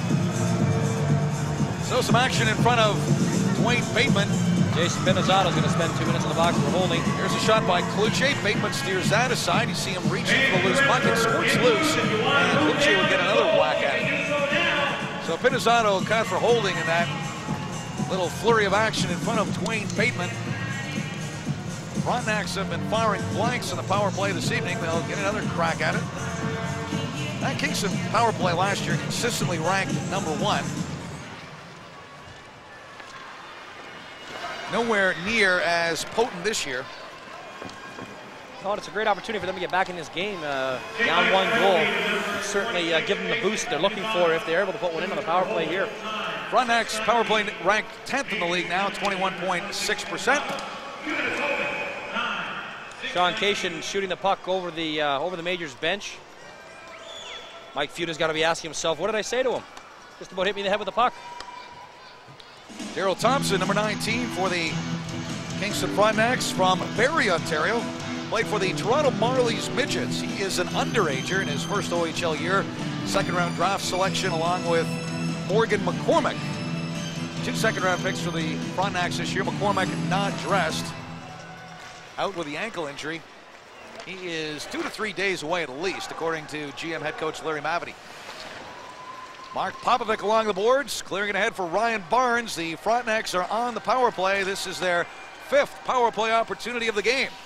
Jonathan Schill back of the net. Schill will start it out for Kingston. Ryan Barnes and Sheldon Keefe up front for Toronto. Pass to the left wing. Oliveira unable to handle it. And Oliveira gets it back, throws it in front. Hines stops it, but Bateman had to jump on it as the Kingston player, Michael Zigomanis, was in the vicinity. Uh, dangerous situation there. I, uh, I, uh, I don't think the linesman caught the tip by uh, Sheldon Keefe there. The, the, puck going over the blue line there. I do believe that it wasn't offside. He had already indicated that it wasn't offside. Keefe uh, trying to slow the puck down with the tip. I believe that the player put himself offside, but uh, fortunately for the majors, it's it's it's a face-off instead of a goal. Michael Zigomanis, very highly rated native of Scarborough in his second OHL season. He was a standout as an underager. It's rare that you see the 16-year-olds play to the level he played at last year. He's a uh, he's a fine hockey player, and he's playing with a lot of good talent uh, here today. Michael Zigomanis will take the draw against Kenny Corupe. And Corupe leans forward. The Majors win the draw, and they send it all the way down the ice, killing a valuable time on the Kingston power play. Lead pass for Michael Oliveira. Takes it in the skate. Throws it for Jonathan Schill. Schill in the corner. Takes it around back of the net. Jonathan Schill with some moves. Finds Oliveira. Oliveira contained by Cannon. Schill going for the loose puck. Now it's loose on the boards, and Ryan Walsh doing a good job on the penalty kill. Sends it the length of the ice. Great penalty killing unit uh, today for the uh, for the majors. Sheldon Keefe and Ryan Barnes working up front with Chris Cava and Chris Boucher on the blue line as Cava breaks up the rush and sends it back into Kingston territory. 27 seconds remaining in this not terribly impressive power play. Aaron Franson makes a move. Right wing for Zigomanis, covered by Keefe. And the Majors again break up the rush. Matt Price, left wing, he'll just hammer it in. Following up is Elich, leaves it at the point for Ormond. Ormond will get it in front. Now there's a loose puck as big number 12, Andrew Ianiero, had a chance. Here's Sean Griffin, left point shot deflected by Andrew Ianiero. Majors back to full strength. So the Frontenacs 0 for 5 on the power play as the Majors called on the icing with the score. The Majors 2 and the Kingston Frontenacs 1. This is St. Michael's Hockey. 2-1 the score. The Majors lead the Frontenacs. Tim Haffey along with Glenn Lowes, former Toronto Marlboro, overseeing the ice you played on for four years. Was it four years, Glenn? Three, three years. Three here. years, okay. Yep. Three years with the Toronto Marlies. As Jason Cannon takes a shot at the bouncing puck. Puck is back of the Kingston net, and Mark Hicks says the rule book out again and noticed another infraction. He will call this one interference. Andrew Ianiero is going to go off for, uh, for either tripping or, or interference, uh, Jim. I sense a possible turning point here. The Majors now with another power play opportunity, and we've seen how dangerous that power play is. Game's a lot, lot different than it was yesterday. Uh, yesterday, Mississauga Ice Dogs come into town. Very few penalties were called, uh, which is a surprise considering that the Majors and the uh, and the uh, Ice Dogs are probably two of the most penalized teams in the league. Uh, today, we've seen uh, we haven't seen probably more than two or three minutes go by in the game without a penalty being called. Well, the Ice Dogs are definitely the most penalized team in the league, but not by a big margin. They just happen to have that status. The Majors right up there as well. The face-off will be in the Kingston zone as Andrew Ianiero is off for two minutes. Majors power play, Ryan Barnes, Sheldon Keefe, Kenny Corupe in the spot normally occupied by Mike Jefferson. Sean Cation, Mark Popovic, as we see Cation stepping up on the draw. He's lining up with the left hash marks. Sheldon Keefe set up right behind Ryan Barnes. And that's Mark Popovic at the right point. As Barnes forces the draw forward, Keefe jumps to it. Keefe to the net, slides it through the crease, and now the puck loose along the boards. To the point for Kenny Corupe. Kenny Corupe looking for Popovic. Here's Popovic, high slot, shooting it. Cruikshank steers it aside. Uh, there's Sheldon Keefe quickly on the rebound. Keefe along the boards, working deep with Kenny Corupe. Finds Corupe back of the net, Barnes in front. Here's Corupe bringing around to the far side, cycles low for Sheldon Keefe. Cation at the point, and back to Keefe. Keefe to Corupe. Corupe to the net. Corupe shooting. Down goes Cruikshank. They score! As Kenny Corupe found room, and the Majors power play strikes again. Hard work paid off. Curtis uh, Cruikshank not at all happy about that one. I think he feels that the uh, the Majors penetrated the crease area pretty effectively and uh, pretty much bowled him over, put the puck in the net. I'm, But, wondering, uh, I'm wondering about that myself. I don't think there was goalie interference there going after the puck, but uh, they got the initial shot off. Here's Corupe on the wraparound. There you are. You see Ryan Barnes uh, standing his ground in front of the net to try to cause havoc. Sheldon keeping Sean Cation playing with the puck back and forth. Sheldon sees the opportunity, makes the move for the give and go. But uh, Group just, just just came, and uh, absolutely, it was uh, Kenny Corupe in the uh, in, in your screen. That was uh, And, and Sheldon Keefe got Sheldon the goal. Keefe got the got the rebound. There's Sheldon Keefe collecting the garbage, right. and Cruikshank's concern would be with Kenny Corupe. So Sheldon Keefe fires his 20th goal of the year, the first major to hit the 20 goal mark this year, and the third major in their two-year renaissance. Anthony Turzo and even 20 last year, and Steve Zork with 34. So one more goal from Sheldon Keefe, and he will be number two in major single season scoring. Hard shot from outside the blue line, puck back of the net as the Majors. Brock Boucher let that fly. The Majors lead 3-1 thanks to a couple of power play goals. Sheldon Keefe. Assist. Sheldon Keefe. 21, Kenny Corupe. Danny Corupe drawing an assist, And and Sean Cation with the other assist. Sean Cation having a great game, picking up some points today. Danny Corupe extending his point scoring streak now to eight games. Daryl Thompson for Kingston shooting just wide. Dangerous opportunity for the Frontenacs on the rush. Two on one for the Frontenacs. Brett Clouthier swipes at it. Quickly to the puck is Daryl Thompson again. Thompson forced wide by Corupe. Collision back of the net. Clouthier and Kava. Puck along the far boards. DJ Miracle trying to work it loose. They will get a whistle with 9.28 remaining here in the second period as we'll check the scoring for the Majors against Sheldon Keefe with his 20th goal of the year. Henry Corupe and Sean Cation drawing the assist. We Got a fight going on here. Chris Cava and uh, Clouthier going at it. Both of them big heavyweight, big bout here today. Cava's got his helmet off, which doesn't help him, but uh, he's, he's trying, he's staying in there. Clouthier getting the good punches in on uh, on Chris Cava.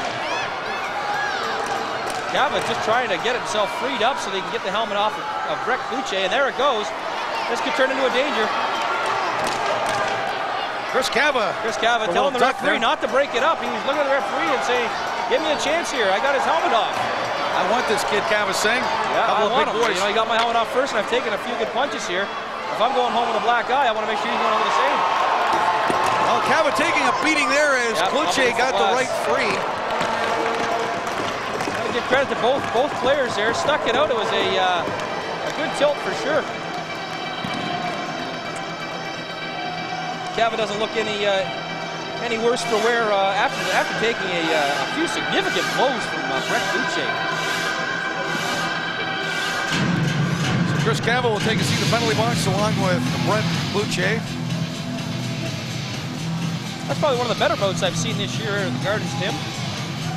Referees actually stood apart and let them uh, let them do their thing. Well, Cava two years older, but Clouthier a little bit bigger. And Clouthier, good good pick by the Kingston Frontenacs, our first round pick. He's got that size, a little bit of a scoring touch. Hasn't quite manifested itself this year, but he does have the Kingston goal of this afternoon. And for all the scouts that are here today watching these uh, watching these two teams, uh, looking at uh, looking at our officials' Mark Hicks, calling uh, lots of lots of penalties today. Now, Glenn, I'm a little concerned, uh, a little confused about the scoring stats we have for the majors. They're showing Sheldon Keefe with 17 goals coming into this game. Now, I'm almost positive he scored his 19th yesterday. He scored two goals against Mississauga. Well, so we'll, we'll, double check that at uh, at intermission. Absolutely. Now, what I'm suspecting is those stats do not reflect yesterday's game with the Ice Dogs. That's so, that's so, probably what it is. The uh, stats are probably taking off the uh, the internet computer. so we will dispense with that page. Chris Cava heading to the dressing room. Uh, So Sheldon Keefe, indeed, with his 20th goal here this afternoon. A correction Nine on the twenty-eight Majors' third goal. remaining in the Scored by number second period. All right, well- number 28, Sheldon Keefe, stats that we have uh, available to us. These are would right up to indicate that uh, uh, that it's uh, t- 20 goals. Well, we, we, I just heard a correction from Bob Komsic. They've given the goal now to Kenny Corupe, so Sheldon Keefe will hold at 19 goals. Now, we saw Keefe take the shot. I just would guess that Corupe, who was in the crease, we know he was in the crease, bothering probably went off his body or Yeah, something like that. Yeah. Probably uh, that's why they've given him the goal. We saw Chris Cava heading to the dressing room. Uh, obviously, he's not suspended by any uh, by any means. We hope that uh, he'll be returning real quickly. Maybe it's just an equipment uh, equipment problem that he has to get sorted out, and it's not an injury. So Kenny Corupe, you see, on the bench with the goal, officially credited with the goal for the St. Michael's Majors. And Kenny Corupe continues to be on a tear. Scored two goals yesterday against Mississauga and a couple of goals against Kitchener on Friday.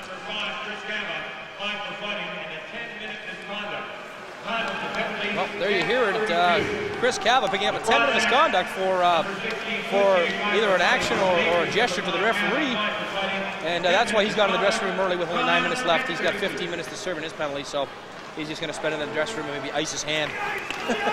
So they threw the book at Chris Cava, 15 minutes worth of penalties, five fighting, 10 minute misconduct, and Brett Clouthier drawing simply the five for fighting at 10-32. I was saying earlier for uh, for a lot of teams that come into Maple Leaf Gardens, it's a real time to really you know show show their stuff because uh, Toronto's just a just a, a breeding ground for scouts and and uh, and uh, NHL representatives here at Maple Leaf Gardens. So uh, someone like Brett Clouthier, who's picked up a goal already today, a nice goal at that, and picks up a fight where I would have to say he maybe got the upper hand on that fight. I don't usually like to like to uh, say anything negative against the majors, but I have to say that Brett Clouthier probably got the upper hand of that bout. And uh, any scout or any representative from the NHL that sees the uh, two-way player, somebody that can score goals and, and can also uh, play physical, uh, they like to see that. Majors right back in the rush. Here's Matt Ellis moving in the middle, looking for Brian Simpson. Down goes Ellis as the puck looses along the boards, and Mark Popovic will take it. Popovic for Mark Hines. Hines quickly back to Popovic. Popovic wasn't ready. Now we have a loose puck, and Hines and Schill bump in the corner, but Hines moving it ahead to Matt Ellis. Sean Griffin steps up for Kingston, takes the hit from Ellis, shoves him right back. Matt Ellis, big strong kid, third round pick from Welland Junior B, just finding his stride here in the OHL and the majors of high hopes for Matt Ellis, one of their top priority draft selections this year. Bothered by that mono for most of this year, but just now working back in the lineup. Two on one. Keefe shooting hard shot right off the chest. Ryan Barnes is with him. Here's Keefe back of the net. Keefe with 19 goals. Looking for that number 20. A shot from Keefe surprised uh, the goaltender from Casey Cruikshank. Wasn't even expecting it and uh, shot him right in the chest. Keefe just wired that. That was, that was a blast. Sheldon Keefe never wastes an opportunity to put the puck on net. Play whistle down with 7.55 remaining here in the second period. Majors fans enjoying the Maple Leaf practice this morning, Glenn. The doors are open at 11 o'clock. A good turnout for the Maple Leaf practice at 11.15. And Ty Domi entertaining fans. Domi, a big fan of the Ontario Hockey League, graduated from the Peterborough Pete's. And prior to the game, Ty Domi sporting a Majors jersey with his son Max. Dropped the puck for the uh, ceremonial faceoff. Yeah, we gave we gave Max, uh, uh, uh, we gave Ty Domi and Max both their own shirts, uh, St. Mike's shirts, and uh, came out to drop the puck. Uh, I know Ty was uh, maybe considering coming up to say a few words here and, and talking and discussing about our our incident some years back. Uh, he did comment that it was a that it was a beauty, but unfortunately his daughter's not well and is at, is at home with uh, with his uh, lovely wife, and we hope uh, she has a speedy recovery. And I guess he wanted to get home and, uh, and see how his daughter was faring. So um, I want to thank uh, Ty Domi for, for coming out to help out with the opening ceremonies. And here we've got a bout. And We've there's a, goal. shot by Sheldon We've got a Keefe. goal. We've got a, we've got a goal and a bout. Majors are signaling goal, but we have a fight down at the other end in the Toronto zone. But Sheldon Keefe on the rush right wing.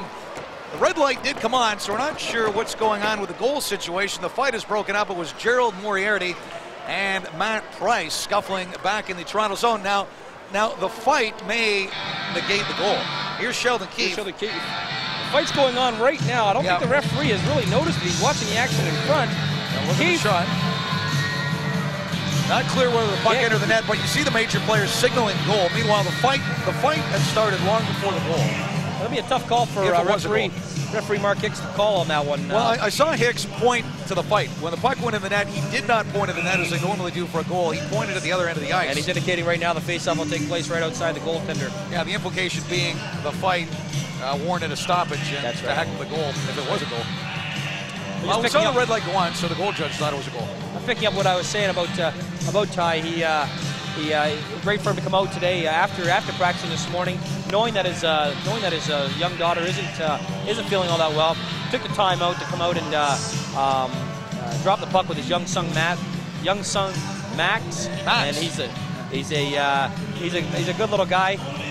And uh, I know they were having some fun with him uh, earlier in the practice. Uh, they had uh, they had his young son on the ice, and he was taking some, some shots on Curtis Joseph, and Curtis was uh, allowing some uh, some uh, great opportunities for, for Max to Did, actually did, did Max manage to find the five hole? He found a five. He found oh, a five hole another five rumble. Glenn. Big fight back of the uh, behind the glass. Some happy, some happy brawl, kids, some happy kids, and uh, you know you see you see the exuberance down here at Maple Leaf Gardens, and and for those that haven't been down here, uh, it's a great opportunity to come down. Prices are real inexpensive, and if you've got uh, if you've got a hockey team, we've got a lot of promotions going on around the hockey team. Um, promotions. So uh, make sure that uh, you give us a call at 596-2851 for all the details. Many hockey teams out in force yesterday afternoon for the Ice Dogs game, and again the majors, 1 o'clock next Saturday afternoon right here at Maple Leaf Gardens against Daniel Tkachuk and the Barrie Colts, one of the top teams in the Ontario Hockey League. Yeah, should be providing a great entertaining afternoon. Molson's the sponsor of the game, so uh, with, a, with, a, with a large sponsor such as Molson's, you never know what to expect. Uh, you, you- you can be assured it's going to be a fine, Chance in front, shot just wide. Maybe it hit the post. Brock Boucher set up by Kenny Corupe. Majors continue to attack. Pinizzato, Corupe, and Boucher. Good looking line. Andrew Ianiero gloves it down. Ianiero takes a hit from Kenny Corupe. And the puck at the Majors line. Daryl Thompson will try and barge it to the net. Thompson held up by Rasmussen. Bouncing puck back of Dwayne Bateman. Kenny Corupe takes the hit. As the puck along the boards, Ianiero applying the body. Ianiero still digging for it. Ianiero, the high-scoring Frontenacs rookie, and he cycles it back of the net. No one there to receive the cycle. And Mark Popovic puts his head down, and I don't think he meant to do that. Flipped it over the glass and into the crowd. Oh, he made a happy fan. Made a fan very happy. Uh, collectible puck. Mike Oliveira, one of the top scorers on the Kingston Frontenacs. He is second in scoring, and one of the remaining, one of the members, uh, one of the high-scoring players carrying over from last year's high-powered team. Frontenacs were the dominant offensive machine in the Ontario Hockey League last year, leading, leading away in penalty killing, goal and uh, power play scoring, rather goal scoring. They weren't quite as strong defensively as a team, and it cost them in the playoffs. But they certainly had the firepower. Now they're in a rebuilding phase. GM coach Larry Mavety says it's time to rebuild. It's time to start developing the 17-year-olds. Sean Cation, pass for Sheldon Keefe. Sean Griffin keeps it in left point.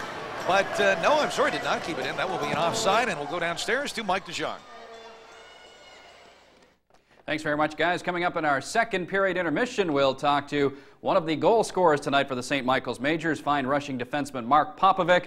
We'll also take a look at some news around the league. We'll have another update on former Major Buyar Amodoski and his status with the Louisiana IceGators of the East Coast, East Coast Hockey League. We'll take a look at some of the scouting around the league and have an analysis of second period action. The Majors' next game in action will be on Saturday, November the 28th, against the Barrie Colts, a 1 p.m. faceoff, followed by that game we mentioned in Ottawa next Friday against the Ottawa 67s. Then the Mississauga Ice Dogs back here at the Gardens, November 29th, and again at Mississauga. Uh, they're playing the Ice Dogs eight times this season, including Wednesday, December the 2nd, at the new Hershey Center in Mississauga.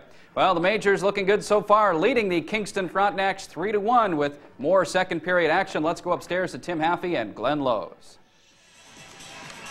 Mike Futa, the head coach of the St. Michael's Majors. Glenn, he has won his last two games. His record 2 3 and 1 as a head coach with the Majors.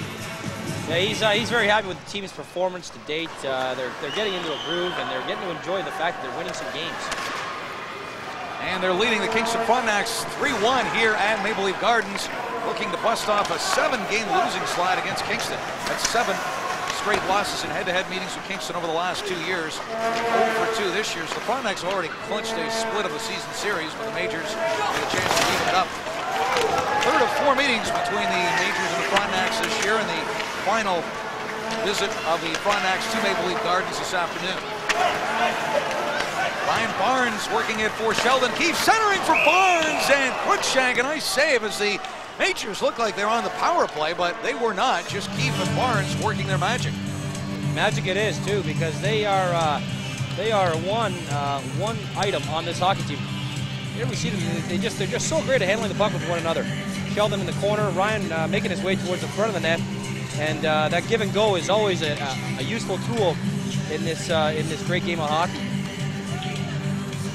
Sheldon Keefe, the Mr. Everything for the St. Michael's Majors.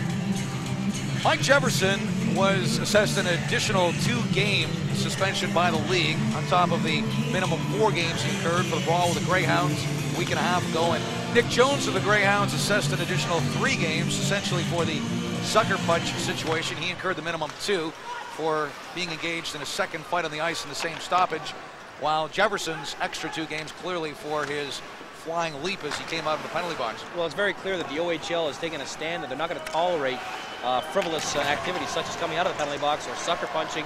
Uh, we've seen the, the, the, heavy suspension given to Jeff Kugel, and for Mike Jefferson to come out to come out of the penalty box during an altercation so soon after that incident, it, uh, I was very surprised that he didn't get more than six games. Pass to an open wing as Brent Ormond steps into it. Shot is blocked, and Ryan Walsh takes it. Walsh looking for Matt Ellis. Puck loose in the left wing. Eric Braff steps up. Mark Popovic gets a hold of it. Now Braff to the line.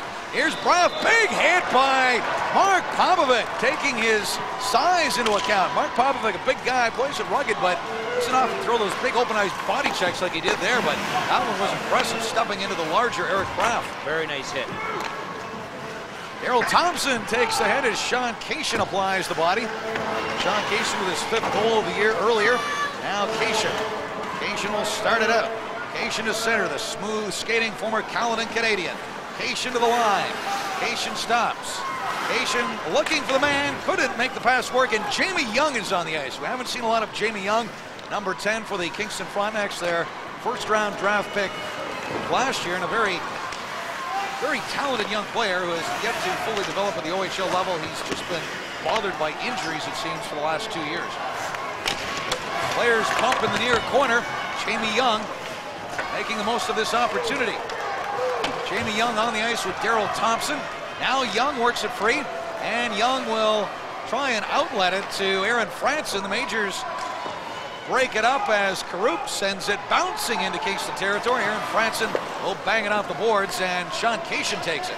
Cation backhanding it into Kingston territory. Offside waved off. And Sean Griffin Nice move on Kenny Corupe. Finds the center ice circle. Long shot handled by Dwayne Bateman in the major score. 329, the time remaining here in the second period. The Majors leading the Kingston Frontenacs by a score of 3 to 1. Dwayne Bateman out for his skate. Even limber. Dwayne Bateman making his sixth start in the Majors net this afternoon after coming over the deal with the Plymouth Whalers. Uh, Patrick Dovigi made his debut as a starter yesterday afternoon against the Mississauga Ice Dogs. But Bateman back in goal. Bateman had a wild game. First star of the game in Kitchener on Friday night. Peppered with 57 Kitchener shots and kept the Majors in that game, which they won 4-3. He's faring very well for these Majors, and uh, uh, hats off to Patrick Dovigi uh, playing a great game yesterday. Yeah, Dovigi looked pretty sharp. Stopped 26 of 27 against the Mississauga Ice Dogs as Michael Zigomanis showing that speed and puck carrying skill wheels into center, hauled down by Ryan Barnes, caught up by Barnes, and Barnes brings it right back. Here's Barnes waiting for Popovic. Barnes to the net, shooting, and Cruikshank. Popovic scores, and the Majors go front 4-1. Wow, the Majors just taking taking liberties in that Kingston crease. I can't believe both Barnes and Popovic were allowed to get that close. Well, when the puck's free, I don't think the referee can really call the call the play down. If the puck's in the crease, you've got to get into the crease to, to score that goal.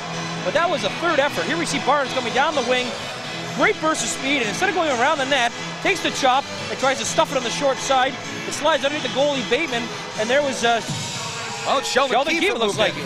Yep. slid it underneath the goalie, and uh, uh, that's uh, that's the nature of the game. It's that second and third effort that's going to score you goals. Well, it, it was Popovic after the Oh, puck. was- Keefe it was came in after the fact. Uh, so we think the goal will go to Mark Popovic, but Brian Barnes never really should have got that close. So that Brett Ormond should have forced him a little wider. Uh, Ormond ended up just hacking at him as as uh, Barnes is able to find room. Well, that's one of the reasons the Majors like Brian Barnes. He's a big, tough kid, uses his size to advantage. Here's a chance for the Majors, or the Frontenac's right wing, and a charging Matt Elich using that blazing speed of his, putting the high shot on Dwayne Bateman. Yeah, good good burst of speed by good burst of speed by Matt, and uh, I don't think he caught the open winger on the side. It was a two-on-one opportunity, and he took the liberty of taking the shot himself.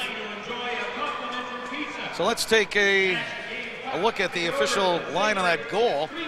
They've given it to Ryan Barnes unassisted. So Barnes clearly was able to jam it through in his own in the right wing, and Mark Popovic was just sort of motioning towards it, but Barnes judged to have put it over the goal line.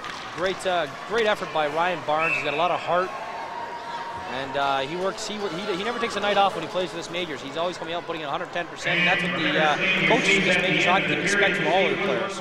Ryan Barnes with his ninth goal of the year, putting the Majors in front by a score of four to one. Good aggressive hustle by Ryan Barnes, barreling down the right wing, the off wing, and dragging that puck to the net. The defense have to do a better job of forcing those guys wide. Otherwise, the goaltender ends up with dangerous puck carriers like Ryan Barnes in his doorstep and the likes of Popovic and Keefe barreling in for rebounds. Here's Sheldon Keefe, right wing. Keefe for the Majors. Barnes again shooting. Keefe after the rebound, and Cruikshank denies Ryan Barnes. They move that puck around so well. Mark Hines, back of the Majors net, 2.22 remaining in the period. Good solid effort by the Majors here this afternoon. They lead the Frontenacs 4-1. Ryan Barnes, long shoot-in, bouncing puck. Sean Griffin gets to the loose puck. Intercepted.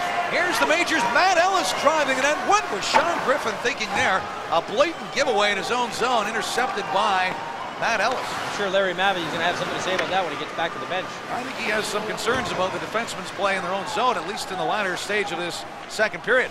Brian Simpson takes the hit along the boards. Mark Popovic. And now we're seeing the real Mark Popovic, just very adept at handling the puck in his own zone, leading the rush, moving the puck out. The wrist injury appears to be fully healed, and we're seeing Mark Popovic in all his glory now in the last few games. Two goals in the last three games. High sticking, high sticking on the puck, uh, called down by by Hicks. They'll face off down deep in the uh, Kingston the Kingston end. One of the things I've noticed as well in the last 10 minutes of this game is that the, uh, the Kingston Frontenacs haven't been forechecking as much as they were in the first period. And I don't know whether that's because they got burned a couple of times with a couple of guys deep, or whether the uh, the, uh, the, the forwards have been uh, just a little bit lazier than they were in the first part of this period. Well, there's something a little off about the Kingston Frontenacs. They don't look like the team that came in here earlier this year. They, they are slumping. They've lost four straight. They have been having trouble scoring goals, which was never a problem in the past. They're looking a little weak in their own end tonight, but give full credit to the Majors. This is a team that is developing. A lot of these players are just finding their legs. The team is slowly but surely gelling, and the Majors really do have a lot of offensive weapons as Brian Simpson lets it go, and puck knocked down in front. Now Matt Ellis hustling to it. Matt Ellis is developing into a physical presence up front for the Majors as well. Simpson throws the check. Ellis will touch on the delayed offside, but the Majors missing Mike Jefferson and George Nistis, but when you consider Sheldon Keefe, Ryan Barnes, those are two frontline OHL players. Jason Cannon can play up front. We're seeing Kenny Corupe's really found his stride. He's scoring at just a blazing pace. Mark Popovic has really improved with the wrist injury.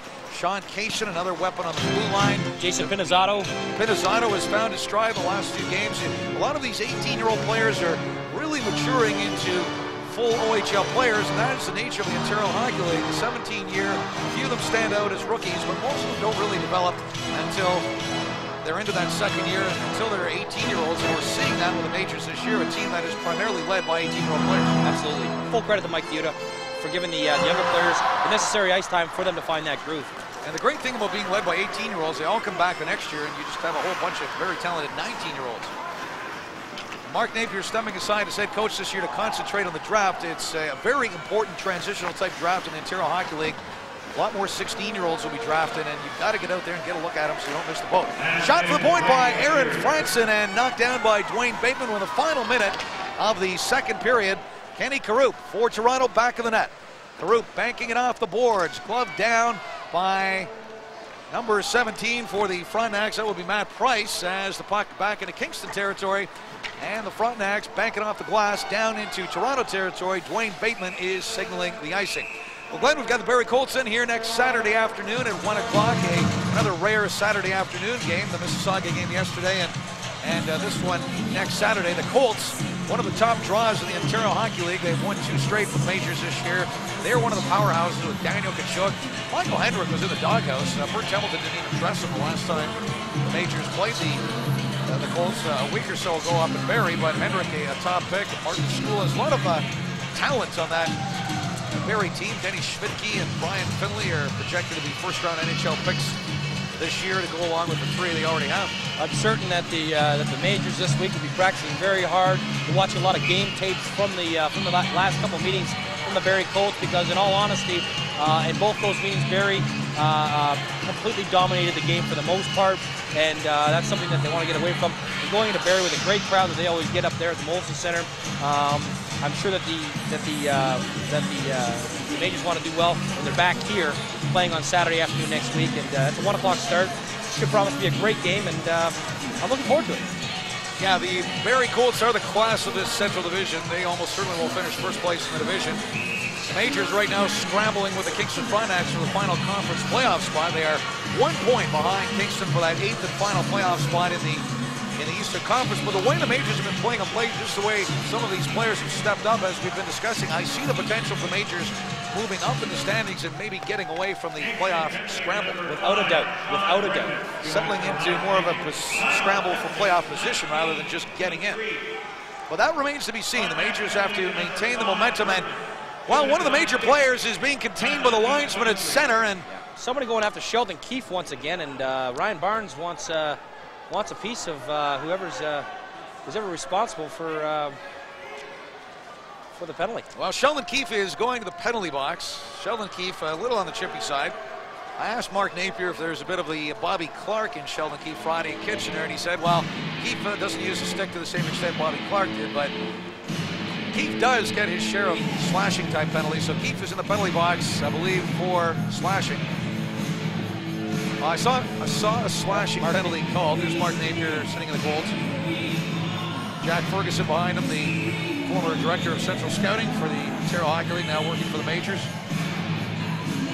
And there's the uh, there's the head coach Mike Futa, very pleased with his team's performance over the last couple of games, and uh, he's got to be pleased with four to one here, getting towards the end of the second period. I'm sure he's not pleased that Sheldon Keefe's in the penalty box, but uh, all in all, his teams are playing great today. Well, Sheldon Keefe's in the box, and we also have a penalty to number five, Sean Griffin as well. Now that came on an earlier stoppage, so Griffin has 153 remaining, and Keefe is showing two minutes. So the Majors power play wiped out. Jonathan Schill, hard shot to the blue line. Bateman looking for the rebound, but Ryan Walsh came back to pick it up. Here's Walsh over the line, shot block. Pinizzato to the net. Pinizzato shooting. Cruikshank is down, but the puck into the corner, and the Frontenacs will skate it out to center. That was a bobbler. Michael Zigomanis to the line, has some time, hard shot, deflects wide. Following up on the play is Aaron Franson, gets a shot off uh, Zigomanis, another shot, but after the horn had sounded, so after two periods of play, the Majors lead by a score of four to one. Just recapping those penalties for you. Griffin off for high sticking, and Sheldon Keefe called for We've the got slash. a got a bit of a melee down in the corner. Well, we have Jason Pinizzato taking a shot at one of the Kingston players. Uh, the. Kingston player has a good grip on him. And this is now breaking up. Jonathan Schill, Michael Zigomanis skating away. Eric Braff in there as well. So that little melee has dispersed with the score of the Majors four and the Frontenacs one. Let's go downstairs to Mike DeJong. And a little bit of the rough stuff may carry over in the, into the third period here at Maple Leaf Gardens. The Majors looking good for their third straight win. They're one period of, uh, away from that. They lead the Kingston Frontenacs 4 to 1 after 40 minutes of play. We'll be back with more on Majors hockey after this.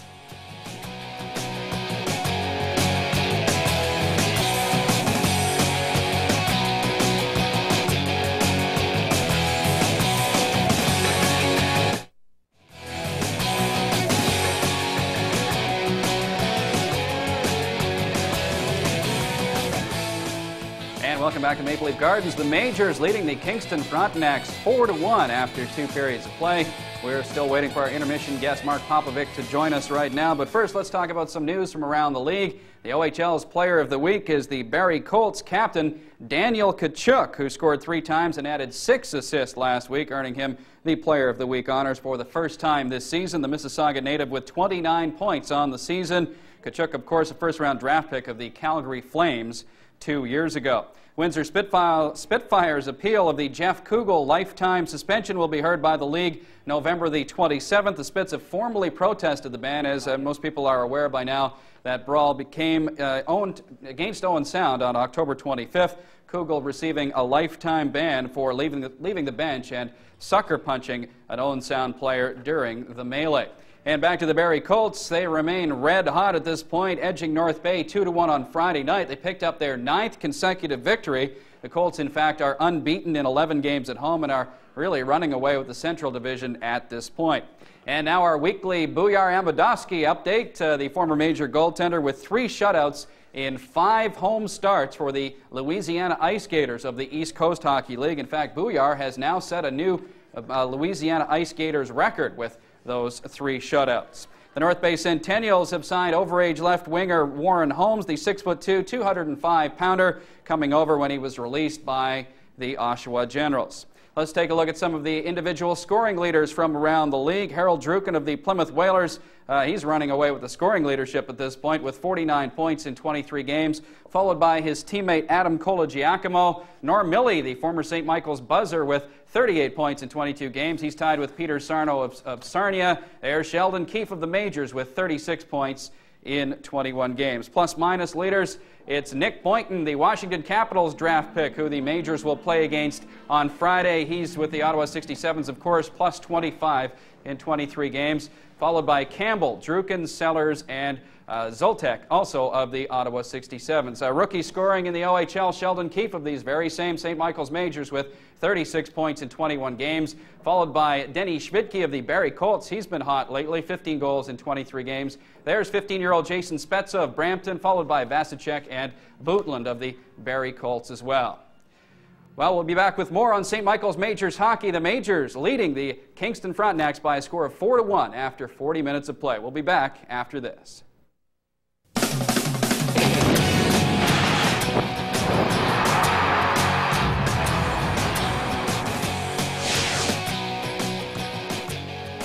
And coming up, the next game on Majors Hockey Friday from the nation's capital against those very tough Ottawa 67s. Friday, November 27th, uh, 7:30 face-off. And joining us now, one of the goal scorers tonight, Mark Popovic of the Majors, the fine young rookie, the first-round draft pick of the Majors, in fact, this year. Mark, can you give us an idea why uh, why you're playing so well these days? Um, I think it just I got my confidence now. I went around the league once, so after a while I also broke my hand at the beginning. I'm just getting back. I'm back to 100%. I'm just feeling comfortable out on the ice. I guess it helps too that uh, that Mike's really been putting you in on, on the power play. He's really given you a, almost a leadership role, which is almost unheard of for, for someone who's just a rookie in the league. Yeah, it's pretty amazing. Most underagers don't get the time, I, uh, the ice time that I do, and the opportunities when you get the ice time just they open right up. So it's great to have the ice time. What's the key now? I mean, you guys have won two straight, uh, you know, a period away from your third straight win. What are what are you doing differently this weekend that maybe uh, you haven't been doing in the last few games? I think it's a positive attitude. Everyone knows the roles, and everyone's doing what they what they do best. And I think if we keep doing this, we're going to keep winning. And I guess having a couple of uh, well, sort of veteran goaltenders back there really helps too. It gives you guys a bit of confidence. Oh, definitely. They can play the puck. You know they're going to stop it. You know you have someone who can stop the puck behind you, which gives you confidence too. Mark, what about the third period? Do you expect these guys, uh, Kingston, to come out flying? A little bit of rough stuff there in the second period. At the end of the second, what do you expect in the third? Um, I know they're going to come out and try to play. Uh, the rough game, but we just can't go down to their level. We have to keep going, keep pushing, and play our game. Great. Good luck in the third. Thanks a lot. That's Majors defenseman Mark Popovic with one goal so far tonight. He may also get credited with another one, he was telling me before we did the interview. The Majors leading the Kingston Frontenacs 4 to 1 after two periods of play. We'll be back with more on Majors hockey after this.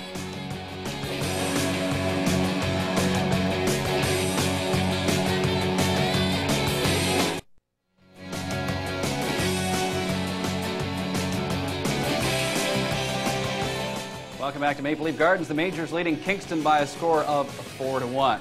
Well, we all know that a lot of NHL scouts are covering the OHL. There's a lot down here at Maple Leaf Gardens today watching today's game between Kingston and St. Michael's.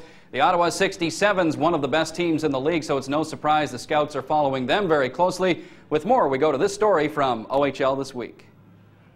Thousands of eyes are watching your every move, but the important eyes for players in the OHL are the ones of the NHL scouts.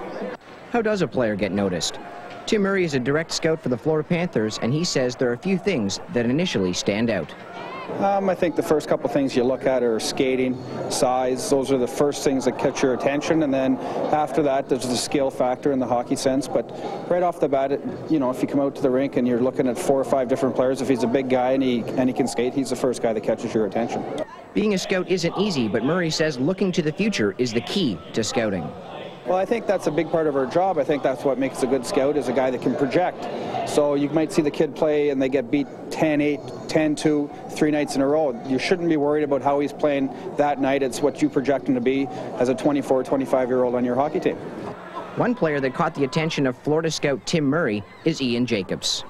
I never really heard much. Like I heard through my agent that they they like my size, that that I can skate good for a tall guy and I like that I, I had the hands and the skill. So you got to be strong for sure. That's one of the biggest things. Like it's it's it's a big step, but the thing is, it's the strongness and just be pre- prepared and just work hard all the time. The 67s have a few players like Jacobs that have been drafted but are back with Ottawa to polish their skills for the NHL. The players agree your skills are great, but hard work turns heads just be be consistent. Uh, every game, come out as hard as you can, and uh, and people see it that everyone's everyone's watching, and you're always being watched. And if you if you play your game, work hard, and do the little things, uh, it'll be it'll you'll be noticed.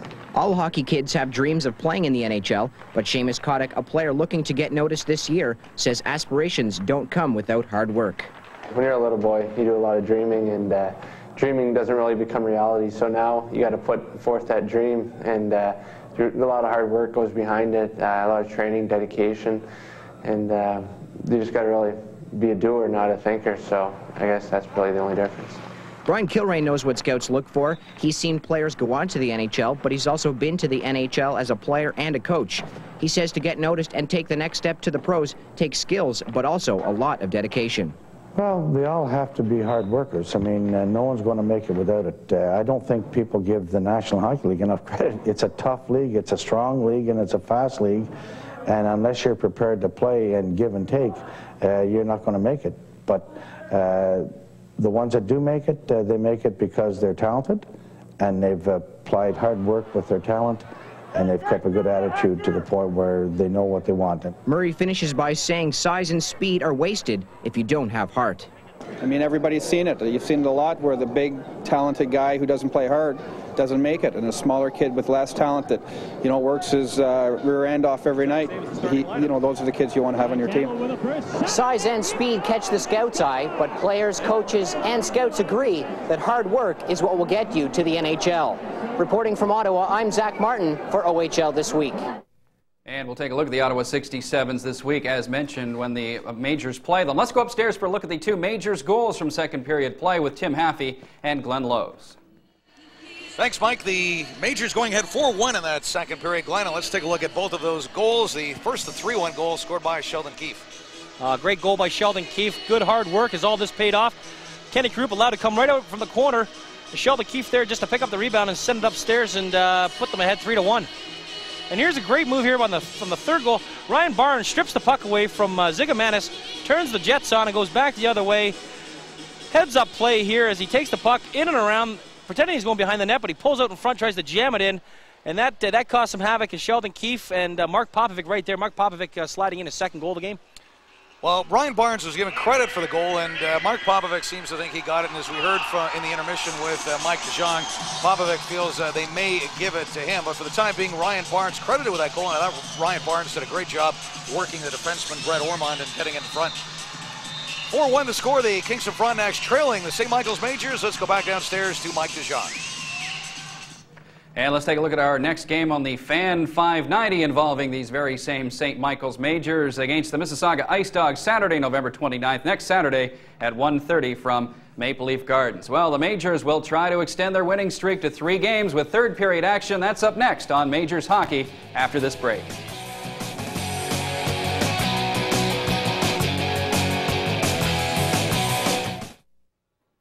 And welcome back to Majors Hockey. Let's go upstairs to Tim and Glenn for the third period faceoff. Thanks, Mike. As we get ready for third period play, we still have penalties on the board as Sean Griffin showing a minute 23 remaining in his penalty. Michael Zigomanis has two full minutes to serve as a result of the melee at the end of the second period. And Sheldon Keefe showing one minute and 30 seconds for the Majors. So the front action with three skaters to the Majors four. Majors are on the power play. Tim Haffey along with Glenn Lowes, and we're joined in the broadcast booth by the Majors assistant coach Len Chittle, who assists Mike Futa along with Mark Osborne. Osborne working the bench with Futa and Glenn in the stands. Puck shot into the Kingston zone. Kenny Corupe in the corner for the Majors. Majors setting up his power play as Corupe has it side of the net. Majors with the four on three. Back to Popovic. Popovic fakes, finds Corupe. Corupe to the net. Corupe with room, shot and knocked down in front and deflected wide by the Frontenacs as Kingston clears the zone and the puck rolling into Toronto territory. Len, what is what is your role with the team? Well, as a teacher at the school, my responsibilities are basically helping out home game analysis, and I'm at all the practices working with uh, Coach Osborne and Coach Futa. As the Kings Kingston Frontenacs send it back into Toronto territory, what do you what do you do specifically during during the games? You're taking notes, a pair of eyes in the stands. It's basically it's the eye in the sky routine. I go down between periods, to try to give the kids some positive feedback on the things they do well, as long as things that they can correct on. Uh, it's been great this weekend, giving the kids a ton of positive stuff because it's easy to find some positive stuff when you're winning two, three games on a weekend. And the Majors looking very good this afternoon. Shot off the back of the net by that was number two, Mark Hines from the off wing. As the major power play is now over, the now it's back on again as the Keefe penalty is over. So briefly, the Frontenacs were at even strength. 23 seconds remaining in the Zigomanis penalty. Len, the uh, uh, the job of sitting up in the stands and, and, and, and reviewing the play a lot different than behind the bench. You see a lot, a lot, lot more uh, uh, behind the scenes stuff that you don't see when you're behind the bench. Isn't that true? Well, you have to be responsible for uh, their team's PK and PP, so you can bring that information down to Coach Osborne and uh, Coach Futa, so they can make some adjustments with their personnel. So that, that's important. Trying to find some breakdowns or faults and, and top players on their team. And this is a good line they have out here now. And the only way you can beat these guys is you got to play. You got to be out outsmarting them and outstrengthening them in the corner. That's for sure. And, and, credit to the majors, you've done that so far. The first two periods, you've shut these guys down essentially, and. Uh, the uh, the majors are playing very confident today, uh, and I think I think a lot of that comes from the two wins on the uh, on the Friday and Saturday back to back. There's no doubt that uh, a couple of wins, even though we got outshot down in Kitchener, uh, all the guys played well, and uh, goaltending was a difference there, and that happened in Mississauga when we were outshot, but uh, battled hard yesterday and continuing to work hard here. Hopefully we'll come out here with a W. Nice hit by Michael Oliveira on Jason Pinizzato. Pinizzato is back up as he brings it over the line. Sean Griffin forces him wide, and Michael Oliveira back of the Kingston net. Mike Oliveira, second leading scorer for the Frontenacs. Right wing from Mike Zigomanis. And here's that dangerous line Len was referring to. Oliveira, Zigomanis, and Jonathan Schill as Oliveira was stood up by Chris Boucher at the major blue line. Big time hit there by Chris Boucher. Nice to see him getting physical. There's another big hit by Brent Mulder in the corner as Mike Futa giving Brent Mulder some ice here. There's a chance to the net as the Kingston player ends up in the crease. Dwayne Bateman down. Now he's back up. And the Majors fighting out to center. Nathan Tennant sprawling as Coach Larry Mavety giving some of his rookie blue liners some ice time. We saw Ian Turner on the ice. Nathan Tennant taking a shift number four. So Coach Larry Mavety stretching the bench. DJ Miracle right side. Miracle right wing working on Moriarty. Moriarty has them all tied up and he'll force Miracle into the boards. Moriarty still working on Miracle and finally just throws him to the ice and I think that will cost the Majors. Moriarty maybe overly exuberant there, Len. Well, uh, Gerald had a good uh, a good exchange there earlier in the game when he took uh, one of their guys with a few more offensive points than Gerald does. So Gerald found a good role there. It was nice to see him take someone to the box that uh, may be hurting us at the other end of the rink. Well, let's see if someone does indeed accompany Gerald to the penalty box. Is that is that your take on it? Are there two of them going? I don't know. I think, No, I I think, think I think, I think Moriarty's going to get called for uh, throwing Miracle to the ice.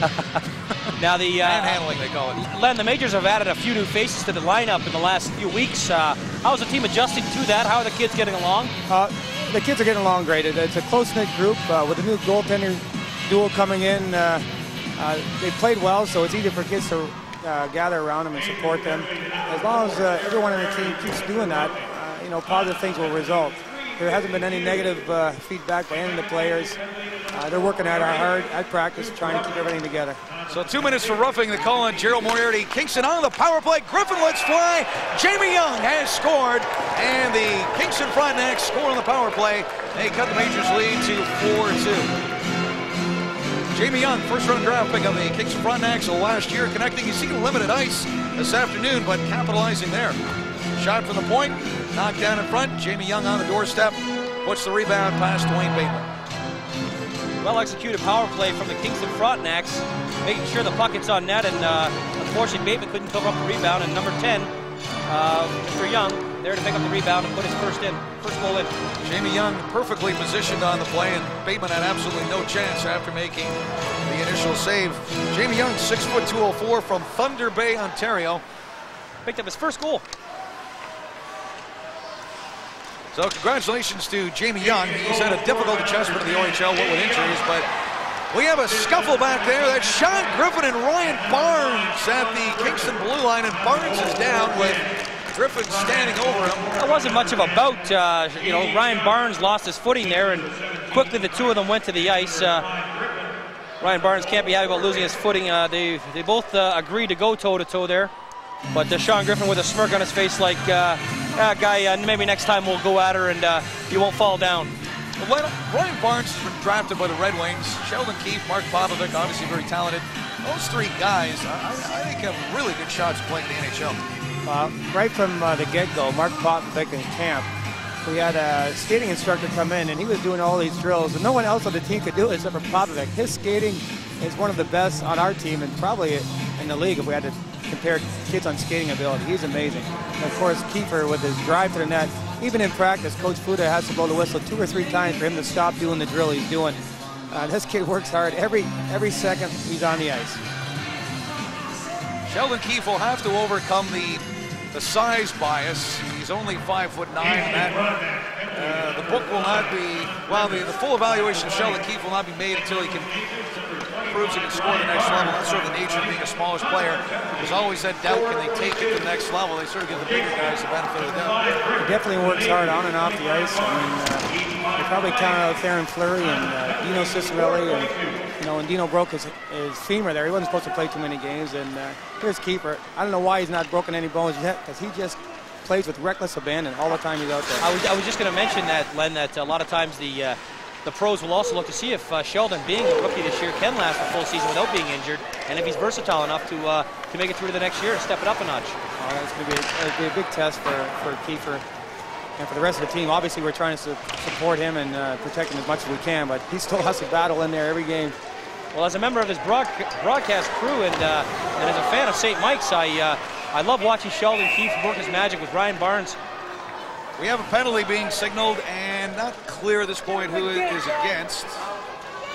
Looks to me like it's number two from the uh, Kingston, uh, Aaron Franson. And Franson wants a piece of Sean Cation. Cation will skate away, being Here's directed the- away by the linesman. Here's a penalty here. Aaron Franson comes in, basically grabs a hold of Kenny Corupe and just slams him to the boards. It's a checking from behind penalty. Very dangerous. We've seen uh, numerous times how, how much that can affect uh, uh, the flow of the game, and uh, the injuries that can result from something like that are uh, usually pretty severe. So good call by uh, by referee Mark Hicks. So the Majors leading this game by a score of 4-2 will get another power play opportunity. They have scored how many goals in the power play this evening? They have scored, well, the one by Sheldon Keefe, one by Sean Cation. So the Power play has struck twice for the majors this afternoon, three times yesterday against Mississauga, a couple of times at Kitchener, so it just keeps clicking away. No doubt, power play is, uh, well, it's second overall in the league, and uh, after today, they may move up to number one. Mark Popovic off the draw, shot right on, Cruikshank the save as the Frontenacs clear the zone, and here's Oliveira right wing, puts a little spin move on Cannon to the net, rebound shot, and big save by Dwayne Bateman with Michael Zigomanis closing in shorthanded. A little hot dogging there by Oliveira, nice move. Well, it worked. It was a hot dog kind of move, the spin move on the veteran Jason Cannon, who is a natural defenseman. The majors moving him up to forward this year because of the surplus of big bodies they had on defense, but Cannon was, was beat there by Oliveira. You know who's mastered that spin move, don't you? Who's mastered? Who's mastered that spin move? Is that the Savardian spin around? Yep, Denis Savard, yeah. Well, Charlie Stephens had moves like that as well. Occasionally show. Poor Charlie getting a rough ride in the uh, latest edition of Rink Rat magazine this week. Mark Popovic on the right point, takes it to the center, high shot, and that goes off the glass. Here's Cation following up. Cation back in the net. Cation centering, here's a chance, Boucher to the net, Boucher shooting and Cruikshank a couple of kick saves as Boucher found room and took it right to the crease. Now Boucher back in the net for Pinizzato, shot in again, Cruikshank the save as the two former Barrie Colts connecting here on the major power play. Full credit for the majors power play. Uh, not normally the unit that you see out of the power play full time, and uh, they move the puck around like as if it was a, uh, a natural thing. Well, 45 seconds remaining in the penalty to Franson, and here's the Oliveira spin move as he drags it to the net. And look at Zigomanis, he had a shot, but nice play by the trailer. Oh. We see Pinizzato handling the puck very well. Back to Boucher. Pinizzato getting a nice shot away, and uh, Cruikshank quick to cover the puck up, especially when you got those majors surrounding the net. Uh, Curtis Cruikshank said a fairly steady game and goal for the Kingston Frontenacs tonight. Puck shot into the major zone. The major still on the power play. Jonathan Schill in on the forecheck. Momentarily confusing the issue. Now Mark Popovic will get a left wing for Sheldon Keefe. Here's Keefe barreling down the off wing. Keefe to the line. Keefe driving it at force wide, almost tucked it in the corner as the major player comes barreling in after the fact. That was Kenny Corupe and Jason Cannon in there. Now Keefe to Cation. Hot oh. shot scores! Sean Cation lets it fly from the blue line. And the Majors power play again. Boy, what a power play. 5-2 Majors. And what a game Sean Cation's having. Yeah, he's a he, he's so good with the puck. He can read the ice. He just slides it over and brings it in and shoots. He has to do that more often. Let's get some traffic in front. It's still a three-on-two battle once the puck gets through the net. And there's the traffic. You know, I, I would have thought that was the first goal of the game because that's exactly how the last goal was going in. He brought it across towards the middle, teed it up, and found the sweet spot on the stick and put it in the exact same spot as he scored his first goal. Sure, sure looks like a replay from the first one. Congratulations to Sean Cation having a great game today. Well, Mike Futa's got to be pleased with the big guns of the blue line. Cation with a couple of goals. Martin Popovic has a goal. Has two goals, this doesn't afternoon. Cation has two goals, yes. And uh, Popovic with the uh, one goal. So the blue line accounting for three of the five major goals. And yet again, another power play goal. That's eight power play goals for the majors in the last two games. Maybe the majors power play could give the Maple Leaf power play a few less. It's good to see Kenny Corupe come right back after that hit from behind and uh, been a big part of this last three games. Certainly has. Daryl Thompson stood up the blue line by Chris Cava. Majors Ryan Wallace, the drop for Pinizzato looking for Moriarty. He felt sorry for Gerald as yet to score a goal as a major in two years. Moriarty tied up along the boards. Gerald did get that one big goal in Sudbury, so he at least has that one OHL goal. This could be a defensive strategy. I don't know. Maury's out there. Uh, he's going to hound the puck if it comes loose, I'm sure. Well, they've got Moriarty playing up front is what they're doing. Moriarty's playing on the forward line with Pinizzato and Ryan Walsh. I know you're not talking to Mike Futa right now, but uh, any uh, any reason for that strategy uh, that you can think of, Len? maybe uh, we need another left winger, and uh, Gerald said, put his first hand up and said, I'll go that way. I'll go anyway. He's the kind of guy that'll go through the wall for you. Well, Majors, are, they do have seven defensemen, so it's, and they're the short one forward, so they have that flexibility to move a defenseman up front. Moriarty did play, uh, he was playing some forward in Barrie last weekend when the Majors were shorthanded due to the suspensions. Gives you some muscle up front as well, big body. Mark Hines, left point, hard shot knocked down by DJ Miracle, and Miracle will skate that off and head to the bench. 11:25 remaining in the third period. The Majors with a three-goal lead. They lead the Frontenacs 5-2. The Frontenacs have been their nemesis for two years here in this league. Jonathan Schill shooting and that's Dwayne Bateman covering up. But the, the Kingston Frontenacs, not the powerhouse they were last year, but as we discussed at the outset, the Frontenacs with that 8 and 1 record overall over two years against the Majors. So the Majors putting a little dent in the head to head record this afternoon, pres- presuming they hang on for the win. Len, I uh, we've been we've been we've been mentioning a couple of times the uh, the Dwayne Bateman uh, ritual of skating around when the puck stops or the play stops. Uh, what are the what are the thoughts amongst the teammates and uh, and uh, any any any uh, reason behind the behind that that skating around? He's very active. I, I, I kind of like it myself. It forces him to keep keep everything moving in his body. Uh, he clears his mind, and sure as he clears out of the front of the net, as long as he gets back in there before the face-off drops, I think everybody's okay with it. Well, I noticed in Kitchener the other night, Friday, he was stretching it almost to the top of the faceoff circle, sort of expanding his his zone, his wandering zone. Zigomanis behind the net, wrap around, and Bateman read that all the way. Jason Pinizzato clears it over the blue line, puck loose at center, but Brett Ormond gets to it and sends it down into Toronto territory. Play whistled down on what the heck was that? Offside? Two Offside. offside? Len, the uh, Majors have a really busy weekend coming up. Uh, you're off in Ottawa Friday night. You're uh, you're back in, uh, in, in, in the Gardens uh, playing against Barrie one o'clock on Saturday, and then a uh, another uh, another meeting between the Ice Dogs and yourselves on Sunday. Uh, any uh, any strategies to try to keep the uh, try to keep the the players fresh for uh, for all three games? Well, Coach Futa mentioned that this this was supposed to be a, a minimum five-point weekend for us, and uh, we weren't going to be satisfied with the five or six. So I don't know what he's going to put up on the point board come this coming weekend. We're playing some good teams, so therefore we got to uh, we got to battle hard and, and try to keep. If we can get a steal a point from Ottawa, that would be great, I'm sure. But uh, the kids are going to come with that hard work attitude, and, and where the chips land, we'll, we'll take it as long as we work hard.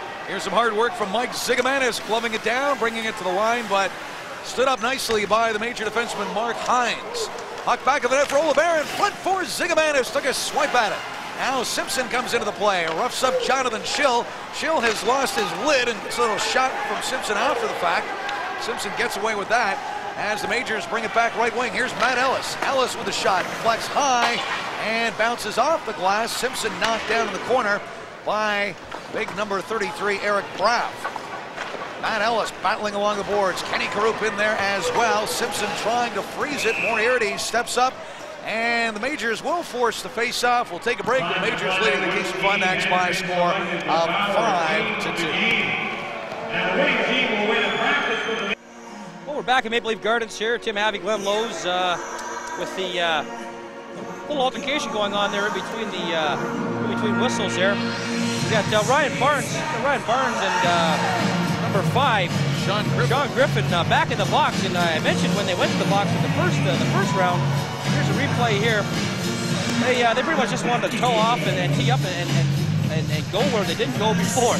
Ryan Barnes losing his footing on the first uh, the first try, and uh, I think I think I mentioned to you that uh, the look in Sean Griffin's eye was, "Hey, buddy, we'll do it again if we can." And uh, they certainly tried to take that opportunity. And uh, referee uh, put him in the box for a uh, for a, another penalty. You know, Glenn, I like Charlie Stephens. Spent a lot of time with his team last year. Rode the buses with him and traveled all over Ontario and parts of the United States. And Charlie Stephens, a big friendly kid, as a 16-year-old last year, and uh, still a big friendly guy as a 17-year-old, but under a bit of pressure this year. It's his draft year. There are clearly influences from his uh, representation, the Bobby Orr group, Darren Ferris, and, and uh, it's all water on the bridge. But Charlie Stephens has moved on, and he's playing in Guelph and trying to uh, establish himself as a bona fide OHLer and looking to get drafted as high as he can in the NHL. But all that aside, Majors really uh, have that deal has turned out well for them. Ryan Barnes has just been a, a real impact player for the for the Majors. He plays in Guelph, he can score goals. And Red Wings, I can see why they drafted him as high as they did. Well, a player like Ryan Barnes is always a, a welcome feature to any hockey team. Just Puck, because of his puck work loose here, Glenn in the crease says, oh, there's Bateman kicking it away, and Aaron Franson follows up. Flurry of action there in the major zone as the Frontenacs seem a little fired up after that Griffin scuffle with Ryan Barnes. Yeah, as I was saying, Ryan Barnes, uh, a hard worker, and as you said, very diversified player, can, can do it both ways, and he's a uh, he's also an NHL draft pick, which in, in, itself brings a lot of experience for the younger players to uh, to try to take off of. Well, the Char Charlie Stephens situation, a bit of an enigma. You look at him on one side, one hand, uh, the, the talent level is evident. He's very smooth with the puck. He's got some moves. He's got the size. Seems to have everything there, all the potential. The upside is very obvious. However, he hasn't, uh, well, put up the numbers, performed at the level of, of other 17-year-olds of his peer group. So the dilemma for the scouts, do you take a chance or do you go with someone that's maybe proved themselves a little more? And I tend to think the scouts are going to be conservative. I, I, I don't know that Charlie will go in the first round. And let's let's let's give Charlie the benefit of the doubt here too. It's uh, it's uh, it's not even halfway through the season, and um, you know what's uh, what's uh, what's happening so far may not be in Charlie's best interest in terms of uh, his his performance or lack thereof. And um, you know we'll, we'll have to see what happens uh, after Christmas. Guelph Storm leading the Plymouth Whalers. Charlie Stephens' team 3-1 in the third period. North Bay leading Kitchener 5-2. That is a final for the Centennials. Sault Ste. Marie leading the Brampton Battalion 1-0. And the Peterborough Petes have defeated the Sudbury Wolves by a score of 4-3. But back to Charlie Stephens. I think the key with him is if he finishes strong, if he really lives up to his potential or even close to it towards the end of the year, that will work in his favor, and you could see him drafted very high. But that's an if. He, has got to deliver, and I think that's what the scouts are waiting for to, to see the real Charlie Stephens. It may not manifest itself this year. He may be a bit of a late bloomer. So, so the dilemma is: do you take a, do you risk a first-round pick on him, or, or leave him for a later round? And, and that's very true. And he's playing with a team, the Guelph Storm, that. Uh, that they have a lot of talent on that team as well, so he's not going to be the uh, central figure there. Here's Jason Cannon for Sheldon Keefe. Keefe trying to drag it past Curtis Cruikshank and almost got the job done. Great heads-up play there by uh, Sheldon Keefe and uh, Sean Cation. Puck fired into the Kingston zone, knocked down, 8.25 remaining in this game, and here's a nice bit of speed from Andrew Iron Ianiero to the line, trying to drag around Cava. He caught Cava in the face with a stick. Cava is down, and Mike Goff takes a run at Ianiero back of the net, and Ianiero gives it right back to him. But Ianiero caught Cava with the stick. We see Kevin Bratt on the ice tending to Chris Cava, who caught the high stick from Andrew Ianiero. It'll be interesting to see what the referee calls here, too, because by the rules, whether it's an accident or it's done on purpose, when a stick hits the face, that should be a high sticking penalty called. Um, you know, uh, I'm sure Ianiero didn't mean to do it. He was just trying to get around Cava. But here it is here. Cava tries to stand him up here and the, the, stick gets clearly knocks the helmet right up. That's a clear penalty that uh, that uh, Hicks is actually uh, taking Ianiero to the box now, so he saw it as much as everybody else did here on the screen. No brainer high stick, but it's also very, very careless use of the stick. And uh, you, you, saw Chris Cava there rubbing his mouth. Uh, players now uh, uh, forced to wear mouth guards, Tim, as part of an, regulation throughout the league.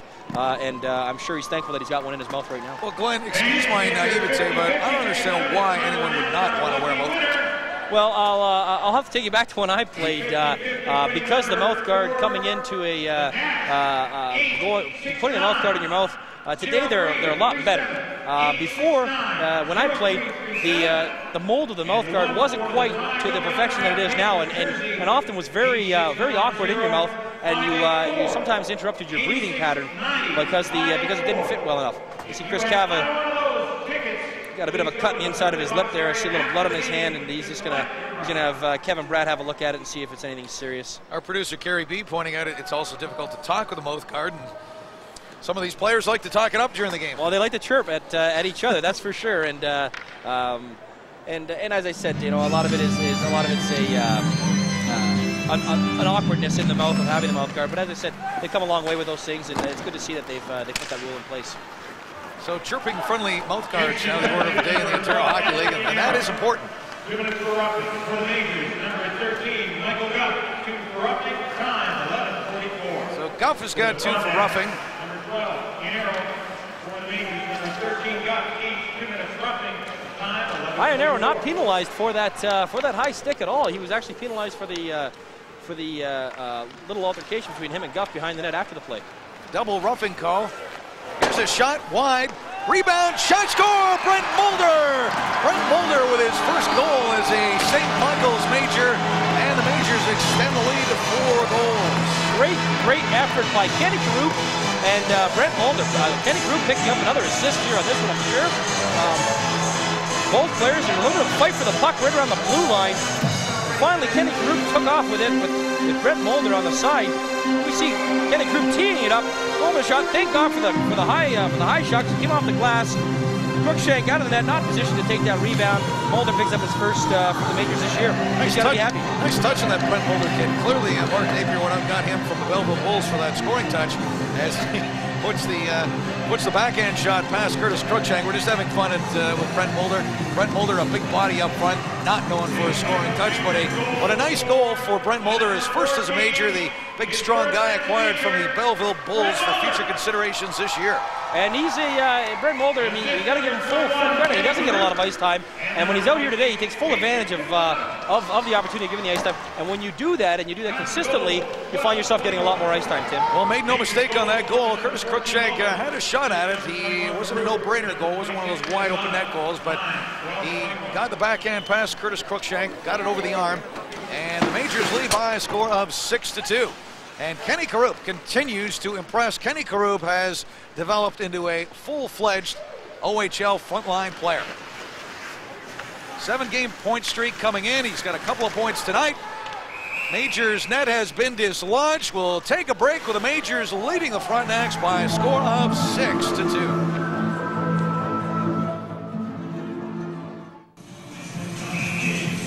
Kingston Frontenacs have incurred a penalty. Number 16, Brett Clouthier is in the box. So the Majors will go on the power play. There's a little bit of a scuffle that broke out as we went to break.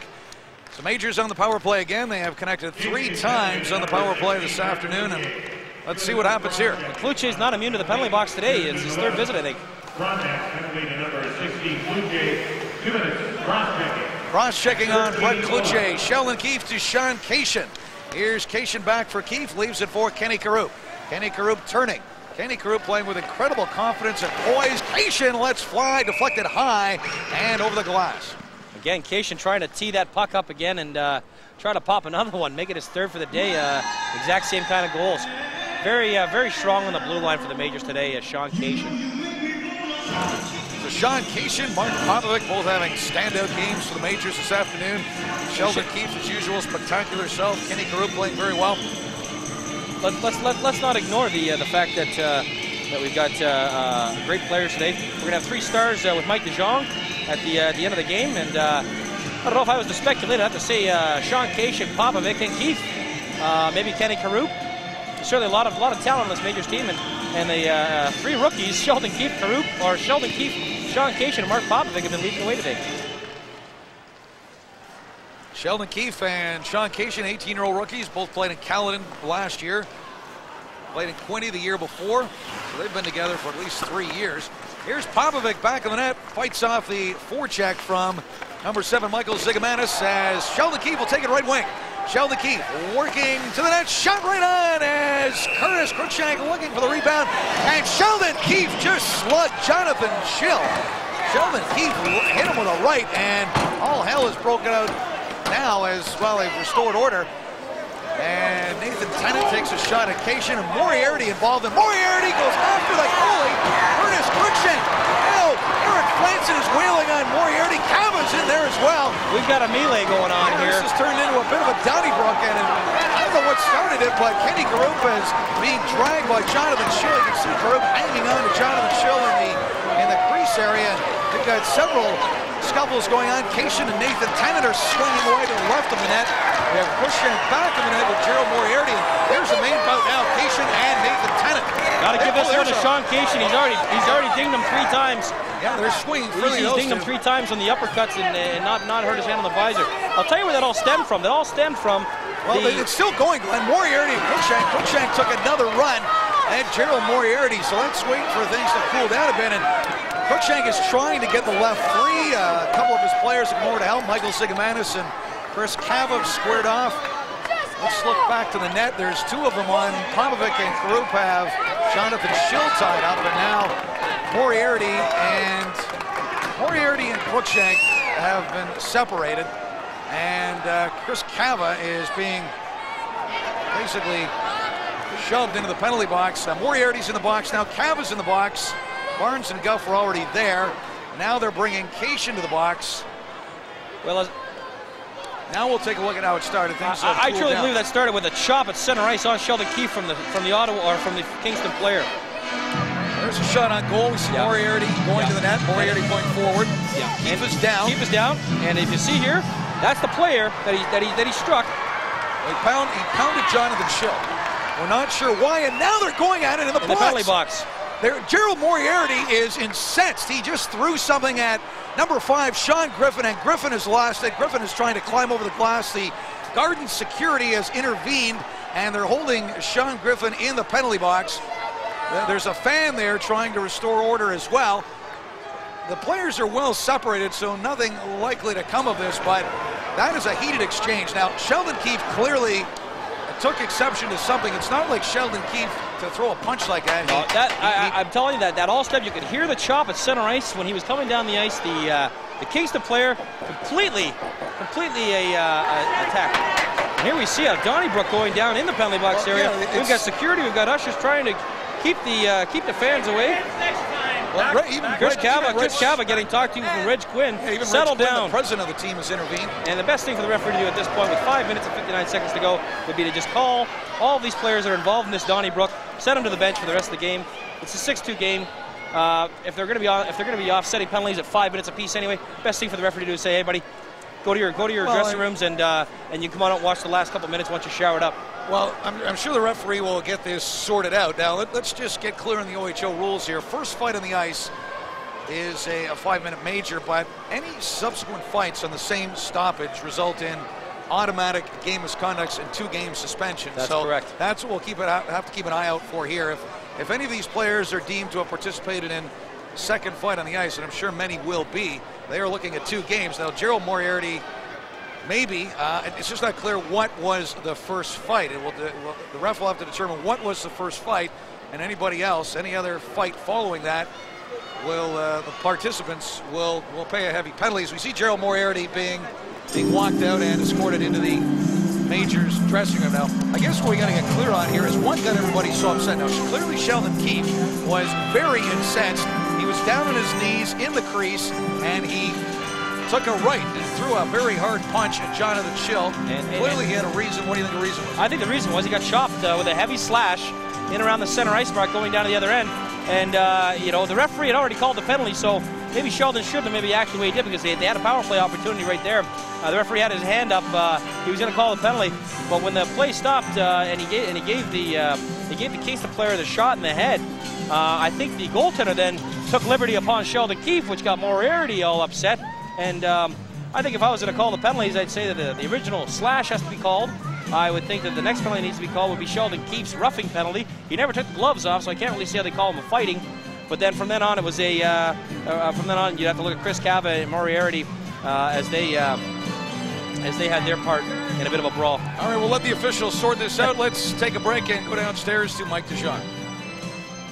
Thanks very much, guys. Well, they'll be taking a few minutes to sort out all of those penalties. Let's take a look at the scoring summary so far in tonight's contest, this afternoon's contest, in fact, which the Majors now lead by a score of 6 to 2 with about five and a half minutes to go in the final period. Going back to the opening period, it was Sean Cation with his first of the game, his fourth of the season from Keefe and Popovic, a power play goal at the 10.03 mark. 1-0 Majors. Popovic then scored his second goal of the year to make it 2-0 from Jason Pinizzato at 16:38. Kingston got back on the board. Clouthier from Ormond at the uh, 17:22 mark, making it 2-1 after one. The Majors increasing their lead in the second period. Kenny Corupe getting that goal, his eighth of the year from Keefe and Cation. Another power play marker for the Majors. They are just awesome on the power play. Maybe the Leafs should get some tips from them. 9:26 of the second, followed by Ryan Barnes unassisted. Although that goal may go to Mark Popovic. We looked at the tape; it could could be going either way.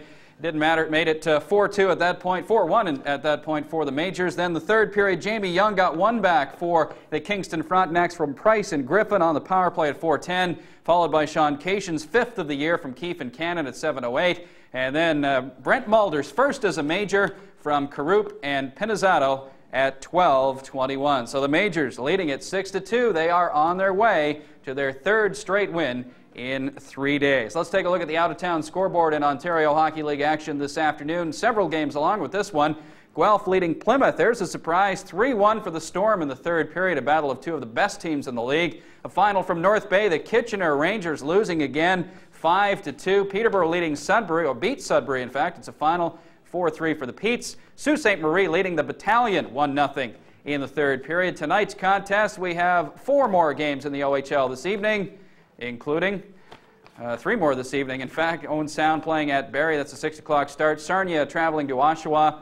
And the Ice Dogs still looking for their second win of the year, taking on the always tough Ottawa 67s. Our next TV game here involving the St. Michael's Majors will, in fact, emanate out of the nation's capital. The Ottawa 67s taking on the Majors Friday, November 27th, a 7:30 face-off from Ottawa. Should be quite a barn burner from the nation's capital. And let's take a look at some of the Majors' next few games. Saturday, the 28th, 1 o'clock right here at Maple Leaf Gardens against the Colts, followed by that game in Ottawa next Friday. Then Sunday, November 29th, 1.30 against the Ice Dogs once again. And then at Mississauga, Wednesday, December 2nd, a 7.30 start from the new Hershey Center.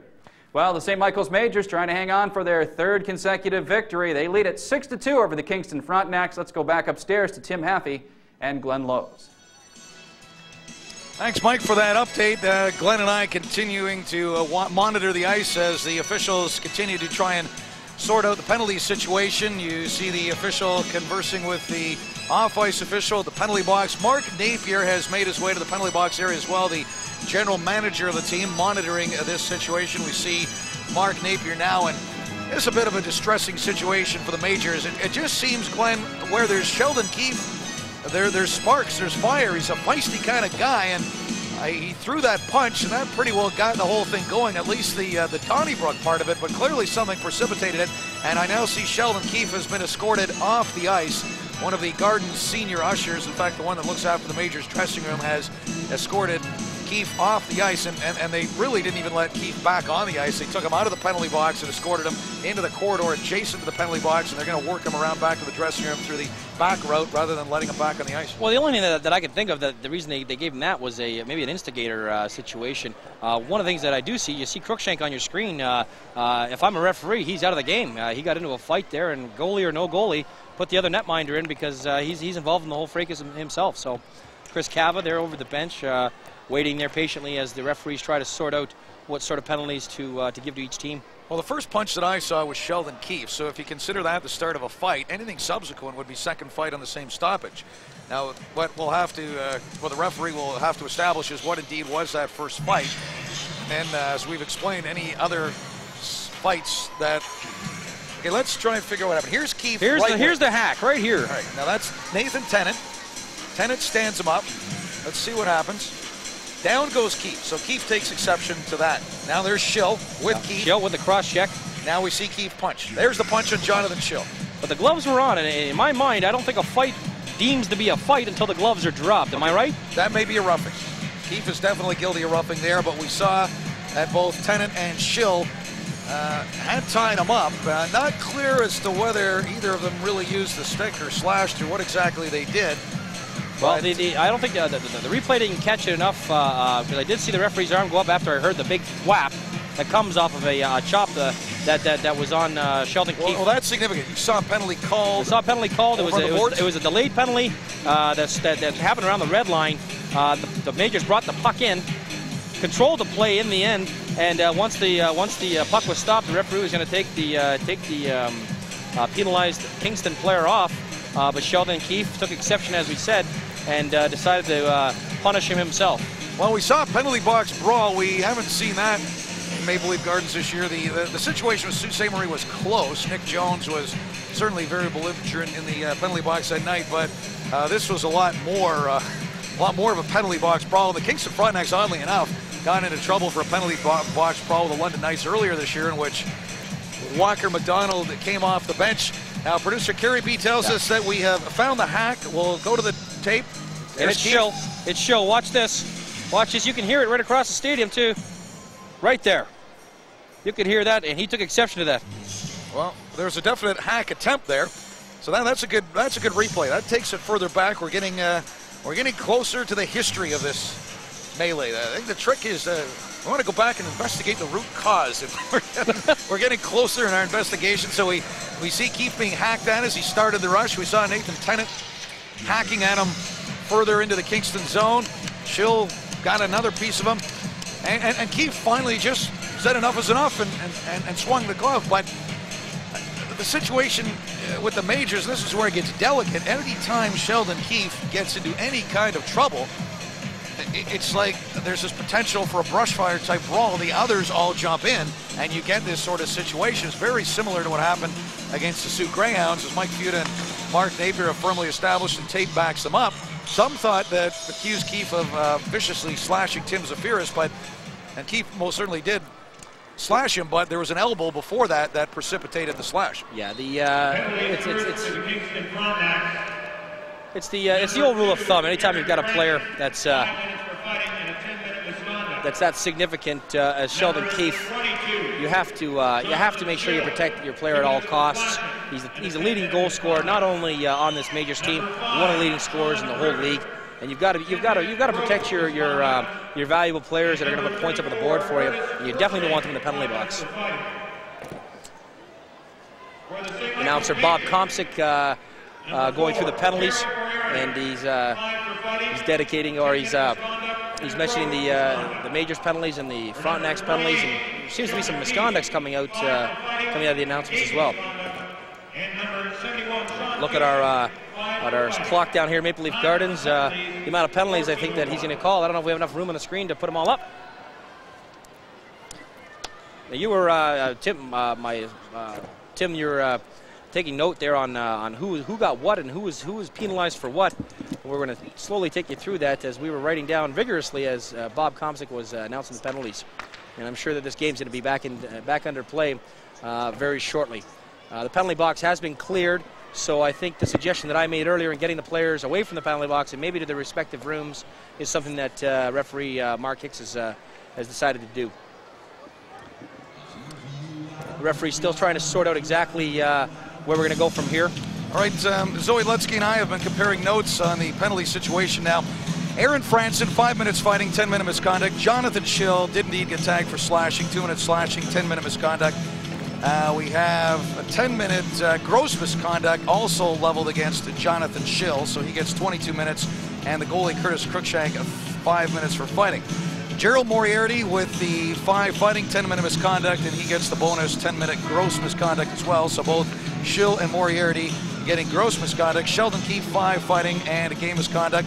And Sean Cation, five fighting. But also of interest, Walker McDonald is indirectly responsible for the big brawl in the penalty box. He is not dressed, and Zoe Lutsky, our statistician, has just returned from the penalty box area, and her information gathered from witnesses is that Walker McDonald intervened, interjected into the brawl, insinuated himself into it, not even participating in this game, and uh, that's what uh, at least uh, partially started all the roughhousing in the penalty box as the majors responded predictably.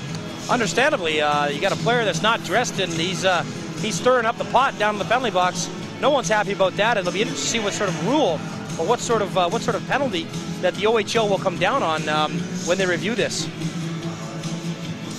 So Reg Quinn, the president of the team, Mike Futa, not at all happy with those penalties. Uh, I, I think I think he's got to be the most upset about the penalty handed down to Sheldon Keefe. The game misconduct. Uh, I didn't see how uh, how a game misconduct could be could be given to Sheldon Keefe. Um, maybe at the most a 10-minute misconduct, but certainly not a game misconduct for throwing Well, a, for it- throwing a punch with a glove on. Well, I, it may they may have deemed uh, Sheldon Keefe showing a five-minute major on the board, and Jonathan Schill has incurred a two-minute minor. That's the slash. So those are the penalties that are going to impact the power play situation. So the majors uh, come out of this with one extra major. So uh, Kingston Kingston gains on the board. They will have a three-minute power play. The majors penalty is a major, so when the two-minute Kingston part is up, the uh, Frontenacs will have three minutes in which they'll be able to score at will, should they be able to score. But it's hard. The game misconduct. If Sheldon Keefe is considered to be a second fight on the ice, that would be a game misconduct. But even more, even more dire from a major's point of view, if uh, he did incur a game misconduct for second fight on the ice, he'll get a two-game suspension as well. Yeah, I, uh, I'm not sure how that's gonna how that's gonna look. The only thing I can think of is that they, they thought he was he was the uh, the instrumental in, in the start of the fight. We see the shots on goal uh, once again. Toronto dominating the uh, dominating the shots on goal with 47 and uh, 35 for Kingston. Well, Reg Quinn apparently says that Sean Griffin started this with a slash to Sheldon Keefe. Reg Quinn talking to our Zoe Lutsky. We saw John, Jonathan Schill was called with a slash. Uh, Griffin was not penalized for slashing. Did Griffin get a slash? No.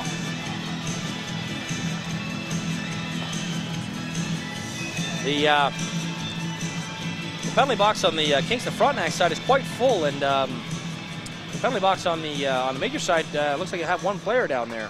Well, we're about to get going, and we're back underway here at Maple Leaf Gardens. The majors with four skaters to the Frontenac's three, as you'll recall way back when Brett Clouthier still in the penalty box. So the majors on a power play here for a little bit until the penalties to Clouthier and Schill expire, and then the Frontenacs go on the power play. Right wing for Kenny Corupe. Here's Kenny Corupe with Matt Ellis. Corupe to the line.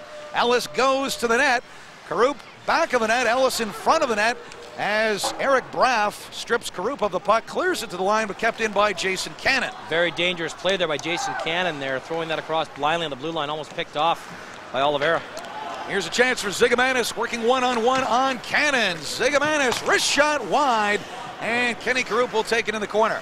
Kenny Corupe leaving it for Mark Popovic. He'll lose it. Here's a chance. Wrap around and nice save by Dwayne Bateman as Mike Oliveira pounced on the loose puck. Majors, Mark Popovic, right wing for Matt Ellis. Ellis on his own, long shoot in, knocked down by Curtis Cruikshank. Eric Braff will fire it deep into Toronto territory. Bateman is out of the ice, or out of the net rather, and leaves it for Mark Hines. Here's Hines, left wing for Chris Cava. Chris Cava dumps it into Kingston territory. Cruikshank will stop it back of the net. Now he clears it along the boards. Hines will keep it in. Hines in front. Here's a chance in front. Save. And nice save by Curtis Cruikshank as Jason Pinizzato in alone.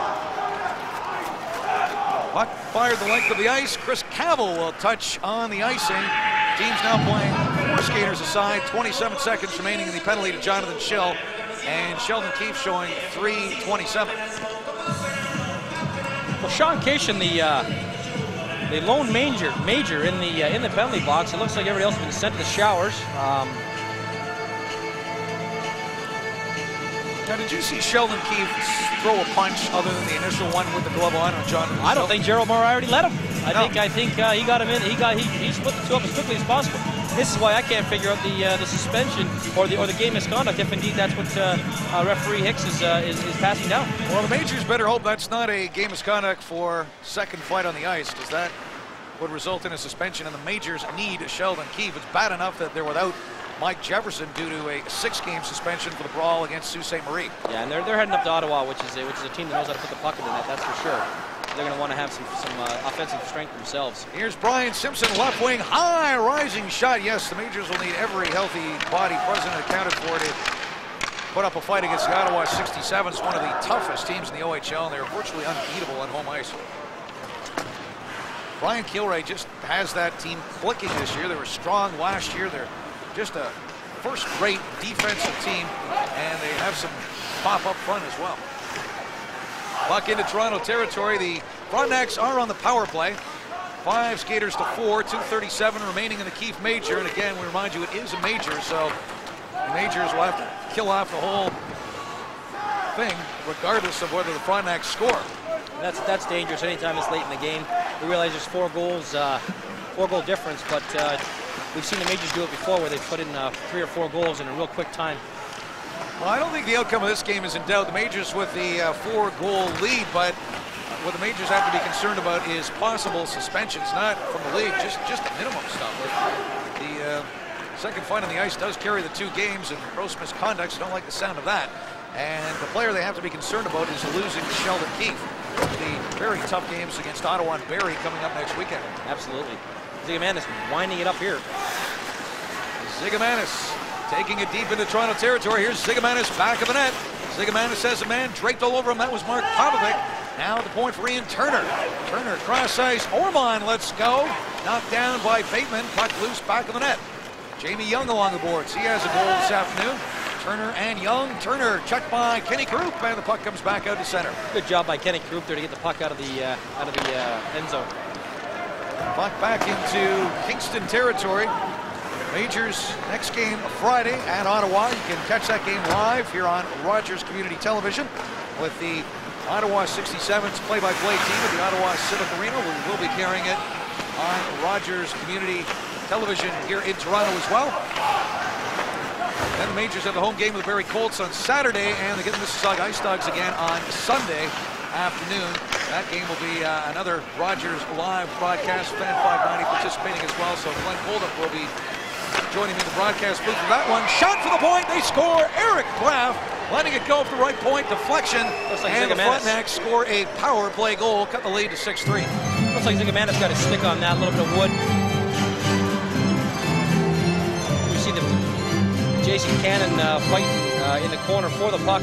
Actually wins the battle, sends the puck around to the other side. That gets all the way out to the defenseman, uh, the Kingston defenseman, who just winds it up, tees it up. Zigomanis is there. Oh, actually, I don't think it was Zigomanis.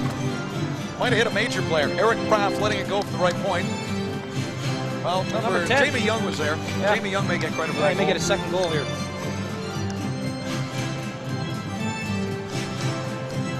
We'll see what referee Hicks calls on that goal. Well, we don't think Eric Kraft is going to get credit for that goal. Somebody definitely deflected it. Yeah. If it was a major, Kraft will get credit, obviously. 6-3 the score, 145 remaining in the game, 47 seconds remaining in the Sheldon Keefe major. So the Frontenacs have got one goal out of this power play situation, 45 seconds to go in the power play. Jamie Young given credit for the goal. That's his second goal. He's got the only he's got two goals today, and he's never scored for the Kingston uh, Frontenacs until today. Michael Oliveira and Eric Kraft drawing the assists. Uh, Jamie Young second of the game, second of the year. Zigomanis back of the net, looking for Young again. Young shooting, just missing on the glove side. Zigomanis, nice job finding Young. This young kid has potential. Good player from the Thunder Bay Phantoms a couple of years ago. Here's a shot from the left wing, knocked down in front, rebound. Bateman another save, another shot by Zigomanis, and Bateman called on to make about three saves there, and finally he'll get a hold of it with Michael Zigomanis fishing for yet another rebound. Majors don't want to uh, don't want to allow any more goals in. They want to keep this keep the pressure up on Kingston, although they're short-handed because going into the going into a game like uh, uh, against Ottawa on Friday night, you want to you want to leave this game on a positive note. So face-off will be in the major zone. You see the play there. Initial save by Bateman. A little bit of a rebound comes out. Try to put it short side. The rebound again, and uh, finally the puck gets stuffed in beside the net, and uh, Bateman putting his blocker over it and covering that up for the uh, for the whistle. Sean Cation has a pair of goals for the majors this afternoon. Mark Popovic, Sheldon Keefe, Brent Mulder. Shot right on Dwayne Bateman. The rebound will carry back into Kingston territory. Cation and Popovic putting the majors up 2 0. Brett Clouthier scored for Kingston, then Sheldon Keefe. And Ryan Barnes also with a goal. We think that may ultimately be awarded to Mark Popovic. So quite possible that both Popovic and Cation will be credited with two goals when all is said and done. Sheldon Keefe and Brent Mulder with the other goals for the majors, but for the time being, that second possible Popovic goal is Ryan Barnes' goal. Mike Zigomanis over the line. There's the drop to Mike Oliveira. Time winding down. Oliveira throws it in the middle. Guff got a stick on it. Nathan Tennant lets go from the left point. Puck loose at center. Just 20 seconds remaining as Mike Guff barges after it. Jason Cannon will move it back to Chris Cava. Cava ahead for Jason Cannon. Cannon will lift it to center. Bouncing puck at the blue line. Mike Guff bumps with Nathan Tennant as time winds down. Just a couple of seconds left. Brock Boucher will touch, and the horn sounds, and the game is indeed over. So the St. Michael's Majors won their third straight game of season high winning streak, extending that season high winning streak. 6-3 winners over the Kingston Frontenacs, and they also very significantly snap a seven-game stretch of losses in the head-to-head series with the Kingston Frontenacs, so they improved the record to one and two versus Kingston this year. They're actually perfect against Kingston, or one and one with the Frontenacs here at Maple Leaf Gardens. And the Majors now two and eight lifetime against the Frontenacs. Real important win today. They move ahead now. Kingston in the overall standings, which has got to make uh, the Majors very happy. Well, that is absolutely uh, significant, Glenn. The Majors with 16 points now, and they move one point ahead of Kingston for the eighth and final playoff spot in the Eastern Conference. Again, the final score: the Majors six, the front Frontenacs three. Let's go downstairs to Mike DeJong. And the great weekend continues. Thanks very much, guys, for the St. Michael's Majors putting together their first ever three game winning streak. The Majors winning on Friday, Saturday, and today 6 to 3 over the Kingston Frontenacs. We'll be back with more on Majors hockey after this break.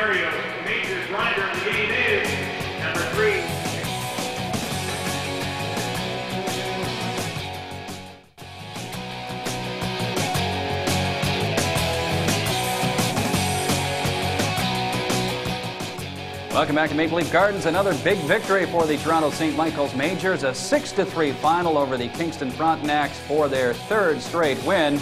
Let's take it upstairs to Tim and Glenn for a look at at least one of the goals, one of the six goals on the afternoon.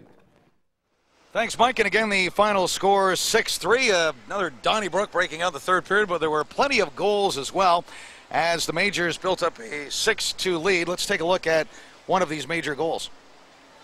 Well, it's a, uh, it's a it's a great afternoon for the Toronto St. Michael's Majors, and here we see uh, Brent uh, Mulder picking up his first goal of the season on a rebound off the glass. Kenny Corupe with a quick shot. Mulder there to pick up the bouncing puck and slide underneath Cruikshank for his first goal for the season. And the Brent Mulder goal putting the Majors in front by a score of 6 to 2. As we saw, Jamie Young would get one back for the Kingston Frontenacs on the power play with Sheldon Keefe off on a five minute major. And I guess what we're still trying to determine at this point, we are looking into it exactly what was Sheldon Keefe thrown out of the game for. If it was indeed second fight in the ice, he is looking at a minimum two game suspension. So we'll, we'll try and determine that for you. But uh, from a major point of view, the major's obviously hoping it's just a simple thrown out of this game and, and no more. And, and, I'm catching uh, the eye of Zoe, our, uh, our statistician. I think she's uh, she's saying that it's not a suspension. Indeed, it's a it's just a, it was just a matter of trying to get Sheldon Keefe off for the rest of the game so that another Donnybrook didn't open up. All right, well, well, check into that further. We're going to send things back downstairs to Mike DeJong, and as soon as we can determine that, we'll uh, get it to you forthwith. Mike? Thanks very much, guys. And once again, the Majors out shooting their opponents here, 49 to 41. Yesterday, they had a team record 68 shots on goal against Mississauga. Let's take a look at the three stars of this afternoon's contest. No surprise, a couple are defenders. Sean Cation, the blue liner, with two goals and an assist, leading the way. He's the first star. Sheldon Keefe is our second star. there we go. Sheldon Keefe. There's another assist for him. He had three on the ice and another off the ice. And defenseman Mark Popovic who had another great afternoon. The 16 uh, year old rookie, one goal and an assist for the St. Michael's Majors. And let's take a look at our play of the game. No surprise, it involves defenseman Sean Cation, his second goal of the game in the third period at the 7.08 mark. There it is up on the screen. Sheldon Keefe with a nice pass back to Cation at the point. This is on the power play again. Cation just tees it up, blows it by Curtis Cruikshank in the Kingston cage. That one would make it 5 to 2, and the, the, Kingston Frontenacs could never get back into it after that, as the Majors would go on to win it 6 to 3. As mentioned, it's their third consecutive win this weekend, three wins in three days. Very good work this weekend for Mike Futa's Charges. So it's on now to the Ottawa area, the Ottawa, the nation's capital, for a game against the Ottawa 67s next Friday night. We'll have that one for you here on Majors Hockey. Be sure to tune in as the Majors have a tough task as they try to extend their winning streak to four games. The Majors beat the Kingston Frontenacs 6 to 3 this afternoon at Maple Leaf Gardens. For Tim Haffey and Glenn Lowes, I'm Mike DeJong. Thanks for joining us. We'll see you next week on Majors Hockey.